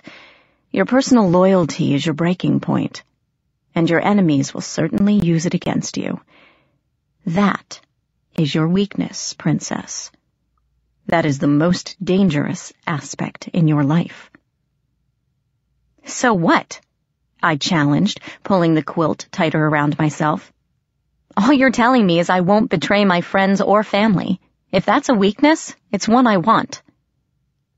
He regarded me with glittering eyes, the expression on his face unreadable. And if the choice was between saving your brother and letting me die, which would you choose? The answer should be obvious, but could you do it? I chewed my lip and remained silent. Ash nodded slowly and turned away. I'm tired, he said, sitting down on the bed. You should find Puck and decide where we go from here. Unless, of course, you know where this Machina's court is. I do not. If I'm going to help you, I need rest. He lay back and put an arm over his eyes, dismissing me. I backed out of the room, dark doubts swirling around my head. In the hallway, I met Puck, leaning against the wall with his arms crossed. So, how is the handsome princeling? He mocked, shoving away from the wall. Will he survive his ordeal to fight another day? He's fine, I muttered as Puck fell into step beside me. He's got a nasty looking burn with a horse kicked him, and I think his ribs were broken, but he wouldn't say. Forgive me if my heart doesn't bleed for him, Puck replied, rolling his eyes. I don't know how you got him to help, Princess, but I wouldn't trust him further than I could throw him. Deals with the Winter Court are bad news. What did you promise him? Nothing, I said, not meeting his eyes. I could feel his disbelieving stare and went on the offensive to distract him. Look, what's your deal with him anyway? He said you stabbed him in the back once. What's up with that? That... Puck hesitated, and I could see I'd hit a sore spot. That was a mistake. He went on in a quiet voice. I didn't mean for that to happen. He shook himself, and the self-doubt dropped away, replaced by his irritating smirk. Anyway, it doesn't matter. I'm not the bad guy here, Princess. No, I admitted. You're not but I'm going to need both of you to help get Ethan back, especially now, especially since this Iron King wants me so bad. Do you know anything about him? Puck sobered. I've never heard of him before, he murmured as we entered the dining hall. A long table stood in the center of the room with a magnificent ice sculpture as a centerpiece. Grimalkin crouched on the table with his head in a bowl, eating something that smelled strongly of fish. He glanced up as we entered, licking his jaws with a bright pink tongue. Heard of who before? King Machina. I pulled up a chair and sat down, resting my chin in my hands. That horse thing, Iron Horse, called him the ruler of the Iron Fae. Hmm, I've never heard of him. Grimalkin put his head back in the bowl, chewing loudly. Puck sat down beside me. It doesn't seem possible, he muttered, mirroring my pose with his chin in his hands. Iron Fae? It's blasphemous. It goes against everything we know. He touched his fingers to his brow, narrowing his eyes. And yet, Iron Horse was most definitely Fae. I could sense that. If there are more like him in those gremlin things, Oberon must be informed immediately. If this King Machina brings his Iron Fae against us, he could destroy the courts before we knew what hit us. But you know nothing about him, Grimalkin said, his voice echoing inside the bowl. You have no idea where he is, what his motives are, how many Iron Fae are actually out there. What would you tell Oberon now? especially since you have, him, fallen out of favor by disobeying him. He's right, I said. We should find out more about this Machina before we tell the courts. What if they decide to confront him now? He might fight back, or he might go into hiding. I can't risk losing Ethan. Meghan, no telling the courts, I said firmly, looking at him in the eye. That's final. Puck sighed and threw me a grudging smirk. Fine, princess, he said, raising his hands. We'll do it your way. Grimalkin snickered into the bowl. So, how do we find this Machina anyway? I asked, voicing the question that had bothered me all evening. The only trod to his kingdom that we know of is buried under a ton of ice. Where do we start looking for him? He could be anywhere. Grimalkin raised his head. I might know somebody who could help us. He purred, slitting his eyes. An oracle of sorts, living within your world. Very old. Older even than Puck. Older than Oberon. Almost as old as cats. If anyone could tell you where this Iron King might be, she could. My heart leaped. If this oracle could tell me about the Iron King, maybe she would know where my dad was as well. It couldn't hurt to ask. I thought she died, Puck said. If it's the same oracle I'm thinking of, she vanished ages ago. Grimalkin yawned and licked his whiskers. Not dead, he replied. Hardly dead. But she changed her name and appearance so many times, even the oldest Fae would hardly remember her. She likes to keep a low profile, you know? Puck frowned, knitting his brows together. Then how is it you remember her? he demanded, sounding indignant. I'm a cat, purred Grimalkin. I didn't sleep well that night. The numerous quilts didn't quite protect me from the incessant chill. It crept into whatever cracks it could find, stealing away the heat with frozen fingers. Also, Grimalkin slept on top of me under the blankets, his furry body a blessed warmth, but he kept digging his claws into my skin. Near dawn, after being poked awake yet again, I rose, wrapped a quilt around my shoulders, and went looking for Puck. Instead, I found Ash in the dining hall, practicing sword drills by the gray light of dawn. His lean, honed body glided over the tiles, sword sweeping gracefully through the air, eyes closed in concentration. I stood in the doorway and watched for several minutes, unable to tear my gaze away. It was a dance, beautiful and hypnotic. I lost track of the time I stood watching him and would have happily stayed there all morning when he opened his eyes and saw me. I squeaked and straightened guiltily. Don't mind me, I said as he relaxed his stance. I didn't mean to interrupt. Please, continue. I'm finished anyway. Sheathing his sword, he regarded me solemnly. Did you need something? I realized I was staring and blushed, turning my gaze away. Um, no. That is, I'm glad you're feeling better. He gave me a weird little smile. I have to be on top of my game if I'm going to kill things for you, right? I was saved a reply as Puck strolled in, humming, carrying a bowl of strange golden fruit, each about the size of a golf ball. Morning, princess, he said with his mouth full, plunking the bowl on the table. Look what I found. Ash blinked. Are you raiding the cellars now, Goodfellow? Me? Stealing? Puck flashed a devious grin and popped another fruit into his mouth. In the house of my ancient enemy, what gave you that idea? He plucked another fruit and tossed it to me with a wink. It was warm and soft and had the texture of an overripe pear. Grimalkin leaped onto the table and sniffed. Summer pod, he stated, wrapping his tail around himself. I did not think they grew in the winter territories. He turned to me with a serious expression. Better not eat too many of those, he warned. They make fairy wine out of that. Your human side will not handle it well. I'll let her try one, Puck snorted, rolling his eyes. She's been in fairy long enough, eating our food. It won't turn her into a rat or anything. Where are we going? Ash questioned, sounding bored with us all. Did you manage to come up with a plan to find the Iron King, or are we going to paint targets on our backs and wander in circles until he notices?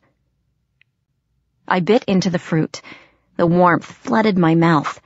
I swallowed, and it filled my whole body, driving away the cold. The quilt was suffocatingly hot. I draped it over the chairs and gulped the rest of the fruit in one bite. You're awfully eager to help? Puck drawled, leaning back against the table. And here I was getting ready for a duel first thing in the morning. Why the change of heart, Prince? The effects of the summer pod were fading. Cold prickled my arms and my cheeks tingled. Ignoring Grimalkin's warning glare, I snatched another fruit and popped it into my mouth like Puck had done. Wonderful, delicious warmth surged into me, and I sighed in pleasure. Ash's outline blurred at the edges as he faced Puck. Your princess and I made a bargain, he said. I agreed to help her find the Iron King, though I won't bore you with the details. While I will uphold my end of the contract, it did not involve you in any way. I only promised to help her. Which means we're still free to duel each other any time we want. Exactly. The room swayed slightly. I plunked into a chair and grabbed another summer pod from the bowl, shoving the whole thing in my mouth. Again, I felt that wonderful rush of heat and headiness. Somewhere far away, Puck and Ash were holding a dangerous conversation. But I couldn't bring myself to care. Hooking the edge of the bowl, I pulled the whole thing to me and began popping them like candy. Well, why wait? Puck sounded eager. We could step outside right now, Your Highness, and get this over with. Grimalkin sighed loudly, interrupting the conversation. Both fairies turned and glared at him. This is all quite fascinating, Grimalkin said, his voice slurring in my ears. But instead of posing and scratching the ground like rutting peacocks, perhaps you should look to the girl.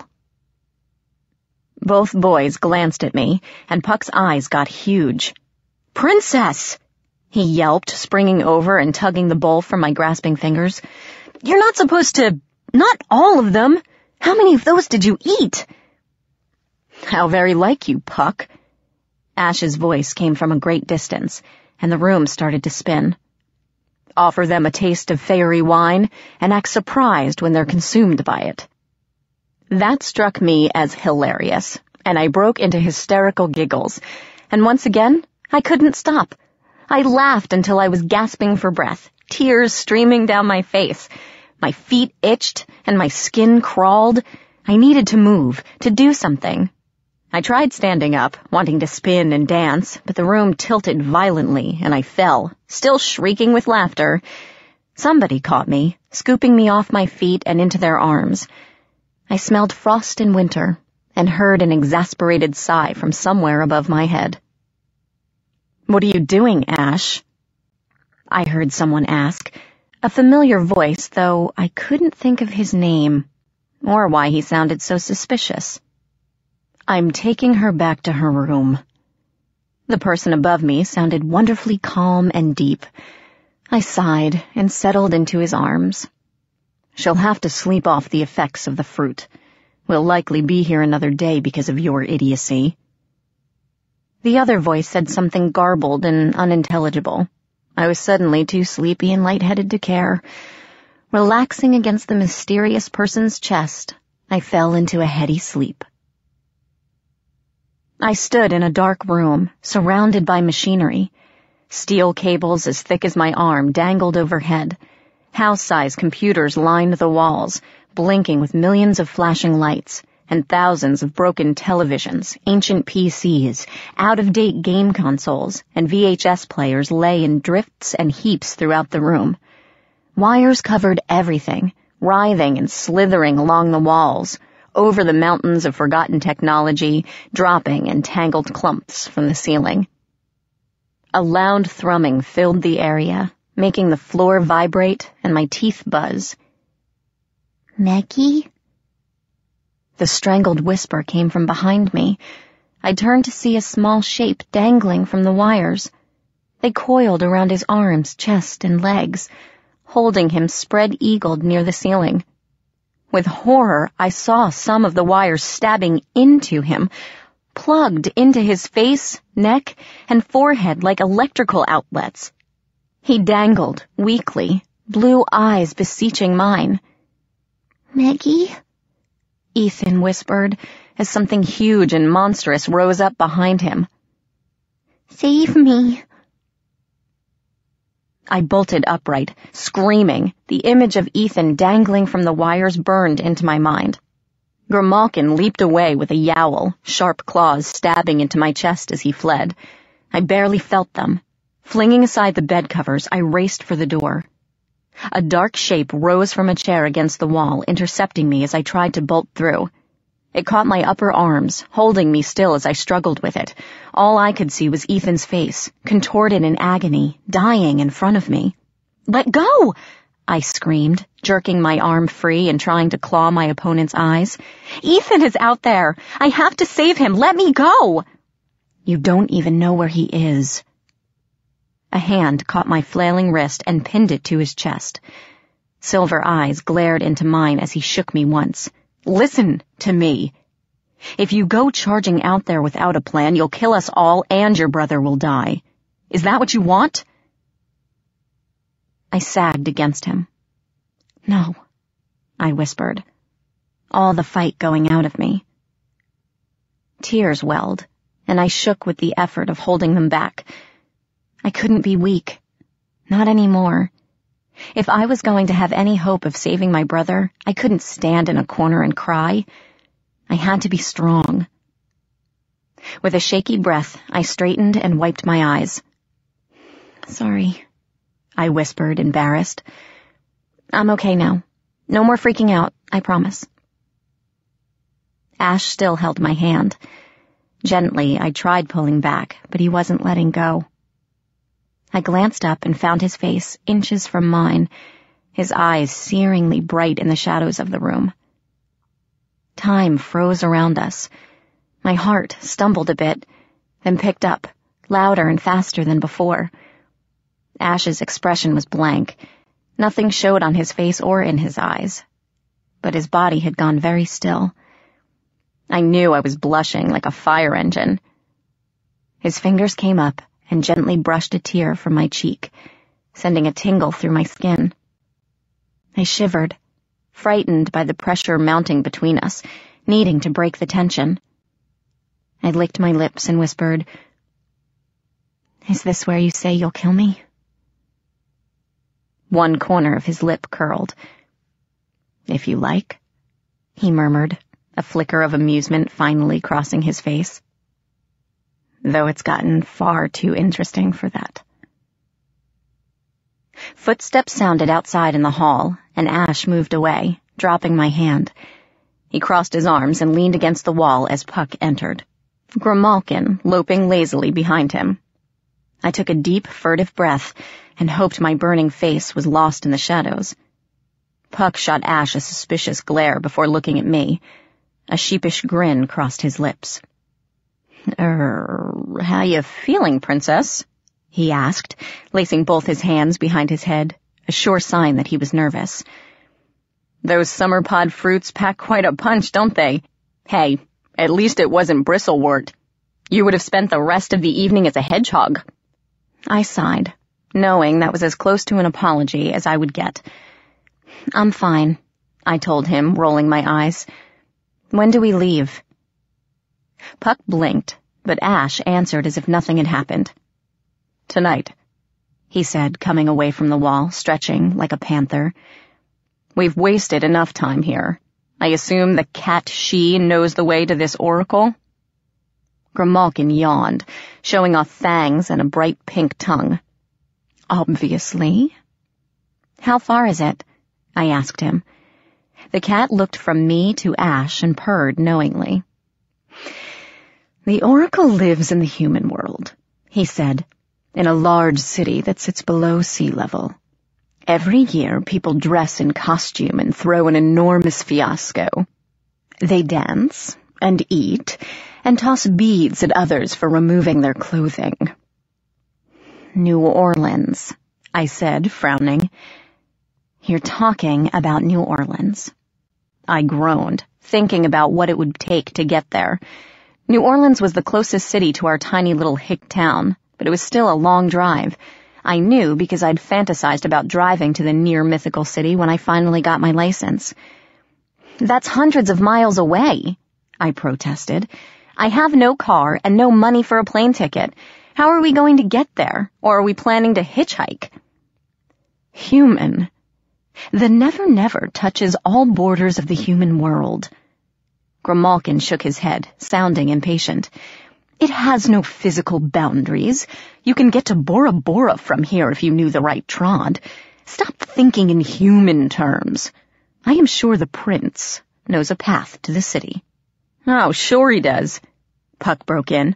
Or a path right into the center of the Unseelie court.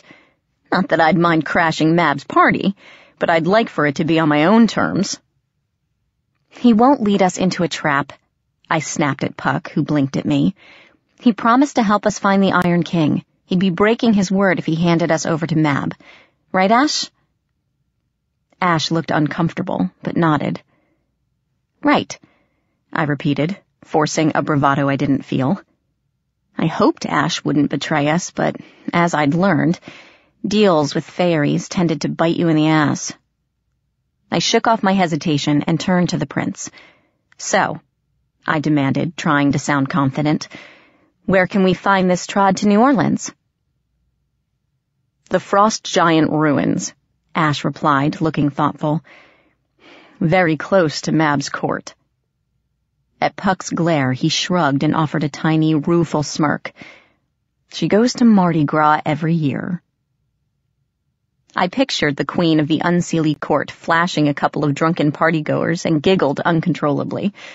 All three shot me a strange look. Sorry, I gasped, biting my lip. Still kind of giddy, I guess.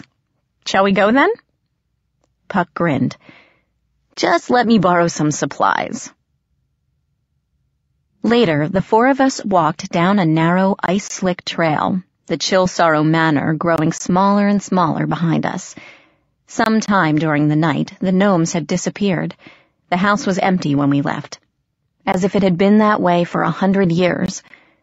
I wore a long robe of gray fur that tinkled musically when I walked, like tiny wind chimes.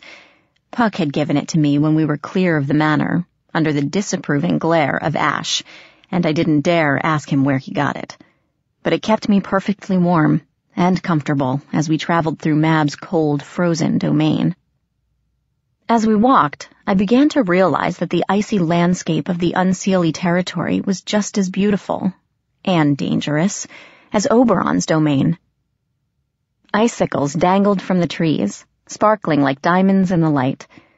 Occasionally, a skeleton lay beneath them, spears of ice between its bones.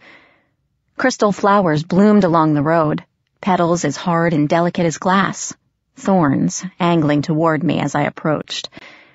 Once I thought I saw a white bear watching us from atop a hill, a tiny figure perched on its back, but a tree passed in front of my vision and they were gone. Ash and Puck didn't say a word to each other as we traveled, which was probably a good thing. The last thing I wanted was another duel to the death. The prince kept a steady, silent march ahead of us, rarely looking back, while Puck entertained me with jokes and useless chatter. I think he was attempting to keep my spirits up, to make me forget about Machina and my brother, and I was grateful for the distraction. Grimalkin vanished periodically, bounding off into the trees, only to reappear minutes or hours later with no explanation of where he'd been. Later that afternoon, we reached a range of jagged, ice-covered peaks, and the trek turned sharply uphill. The path grew slick and treacherous, and I had to watch where I put my feet. Puck had fallen back on the trail. He kept casting suspicious looks over his shoulder, as if he feared an ambush from behind. I glanced back at him again, and in that moment, my feet hit a patch of ice and slid out from under me. I flailed, losing my balance on the narrow trail, trying desperately to stay upright and not go tumbling back down the mountain. Something grabbed my wrist, pulling me forward. I collapsed against a solid chest, my fingers digging into the fabric to keep myself upright. As the adrenaline surge faded and my heartbeat returned to normal, I glanced up and found Ash's face inches from mine so close I could see my reflection in his silvery eyes. His nearness made my senses spin, and I couldn't look away. This close, his face was carefully guarded, but I felt the rapid thud of his heart beneath my palm. My own heartbeat picked up in response. He held me a moment longer, just long enough to make my stomach lurch wildly, then stepped away, leaving me breathless in the middle of the trail. I looked back and found Puck glaring at me. Embarrassed and feeling strangely guilty, I dusted off my clothes and straightened my hair with an indignant huff before following Ash up the mountain. Puck didn't speak to me after that. By late evening, it had begun to snow, big, soft flakes drifting lazily from the sky. They literally sang as they fell past my ears. Tiny voices dancing on the wind. Ash stopped in the middle of the path, looking back at us. Flakes dusted his hair and clothes, swirling around him as if alive. The Unseelie Court isn't far ahead, he said, ignoring the eddies that spun around him. We should break from the road. Mab has others besides me looking for you as well. As he finished, the snow whirled madly around us, shrieking and tearing at our clothes. My fur coat clanged as the blizzard pelted me with snow, burning my cheeks and blinding me. I couldn't breathe. My limbs were frozen stiff to my sides. As the whirlwind calmed, I found myself encased in ice from neck down, unable to move. Puck was similarly frozen, except his whole head was covered in crystal glass, his features frozen in shock. Ash was unharmed, staring at us blankly. Damn it, Ash! I yelled, struggling to free myself. I couldn't even wiggle a finger. I thought we had a deal. A deal? whispered another voice. The whirlwind of snow solidified, merging into a tall woman with long white hair and blue-tinged skin. A white gown draped her elegant body, and her black lips curled into a smile. A deal? She repeated, turning to Ash with a mock horrified look. Do tell. Ash, darling, I believe you've been hiding things from us. Chapter 18 The Voodoo Museum Nerissa, Ash murmured. He sounded disinterested, bored even, though I saw his fingers twitch toward his sword. To what do I owe the pleasure of this visit? The snow fairy regarded me like a spider watching an insect in its web, before turning pupilless black eyes on Ash. Did I hear her right, darling? She purred, drifting over the ground toward the prince. Did you actually make a bargain with the half-breed? As I recall, our queen ordered us to bring the daughter of Oberon to her. Are you fraternizing with the enemy now? Don't be ridiculous. Ash's voice was flat as he leveled a sneer in my direction. I would never betray my queen. She wants Oberon's daughter. I will bring her Oberon's daughter. And I was in the middle of doing so until you showed up and interrupted my progress. Nerissa looked unconvinced. A pretty speech, she crooned, running a finger down Ash's cheek, leaving a trail of frost. But what of the girl's companion? I believe you swore to kill Robin Goodfellow, Ash darling, and yet you bring him into the heart of our territory. If the Queen knew he was here... She would allow me to deal with him on my terms. Ash interrupted, narrowing his eyes.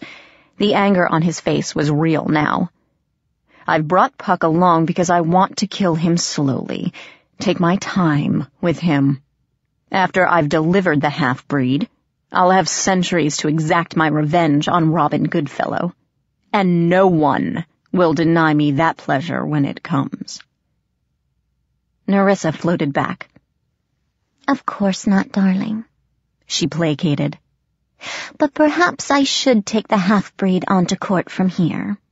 You know how impatient the queen can be, and it really isn't fitting for the prince to be the escort. She smiled and drifted toward me. I'll just take this burden off your hands.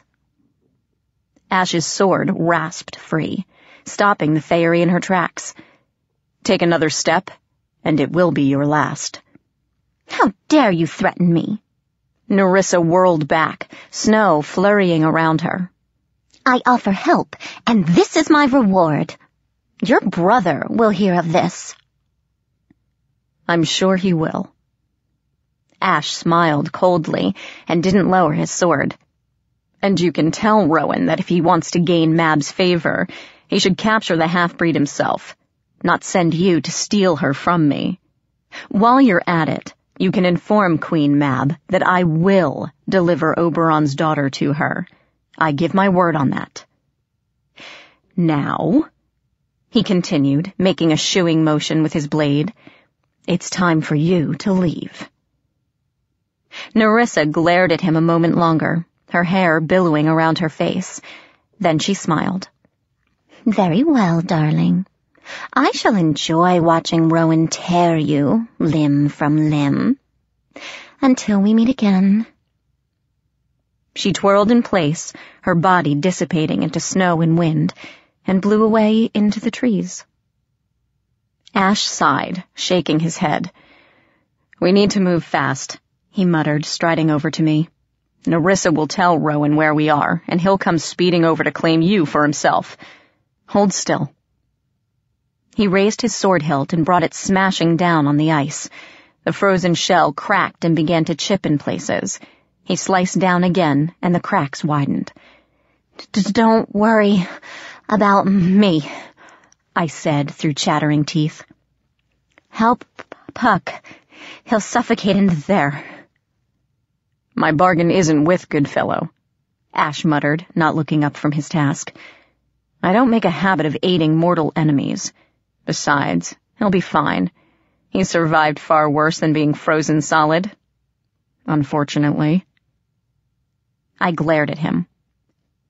Are you really helping us? I demanded as more bits of the ice shell began to crack. What you said to Nerissa. I told her nothing that wasn't true. Ash interrupted, staring back at me. I will not betray my queen. When this is over, I will deliver Oberon's half-blood daughter to her, as I promised. He broke eye contact and placed his hand over the ice, where the cracking was the greatest. I'll just do it a little later than she expects. Close your eyes. I did, and felt the ice column vibrate. The thrumming grew louder and stronger until, with the sound of breaking glass, the ice shattered into a million pieces and I was free. I sagged to the ground, shaking uncontrollably. My robe was coated in ice. The chiming fur silenced. Ash knelt down to help me up, but I slapped his hand away. I'm not going anywhere, I growled, until you get Puck out. He sighed irritably, but rose and walked over to the second frozen mound, putting his hand on it. This time, the ice shattered violently, flying in all directions like crystal shrapnel. Several pieces lodged in a nearby tree trunk, glittering ice daggers sunk deep into the bark. I cringed at the vicious explosion. If he had done that to me, I would have been shredded. Puck staggered forward, his face bloody, his clothing in tatters. He swayed on his feet, eyes glazed over, and started to fall. I shrieked his name and raced over as he collapsed into my arms and disappeared.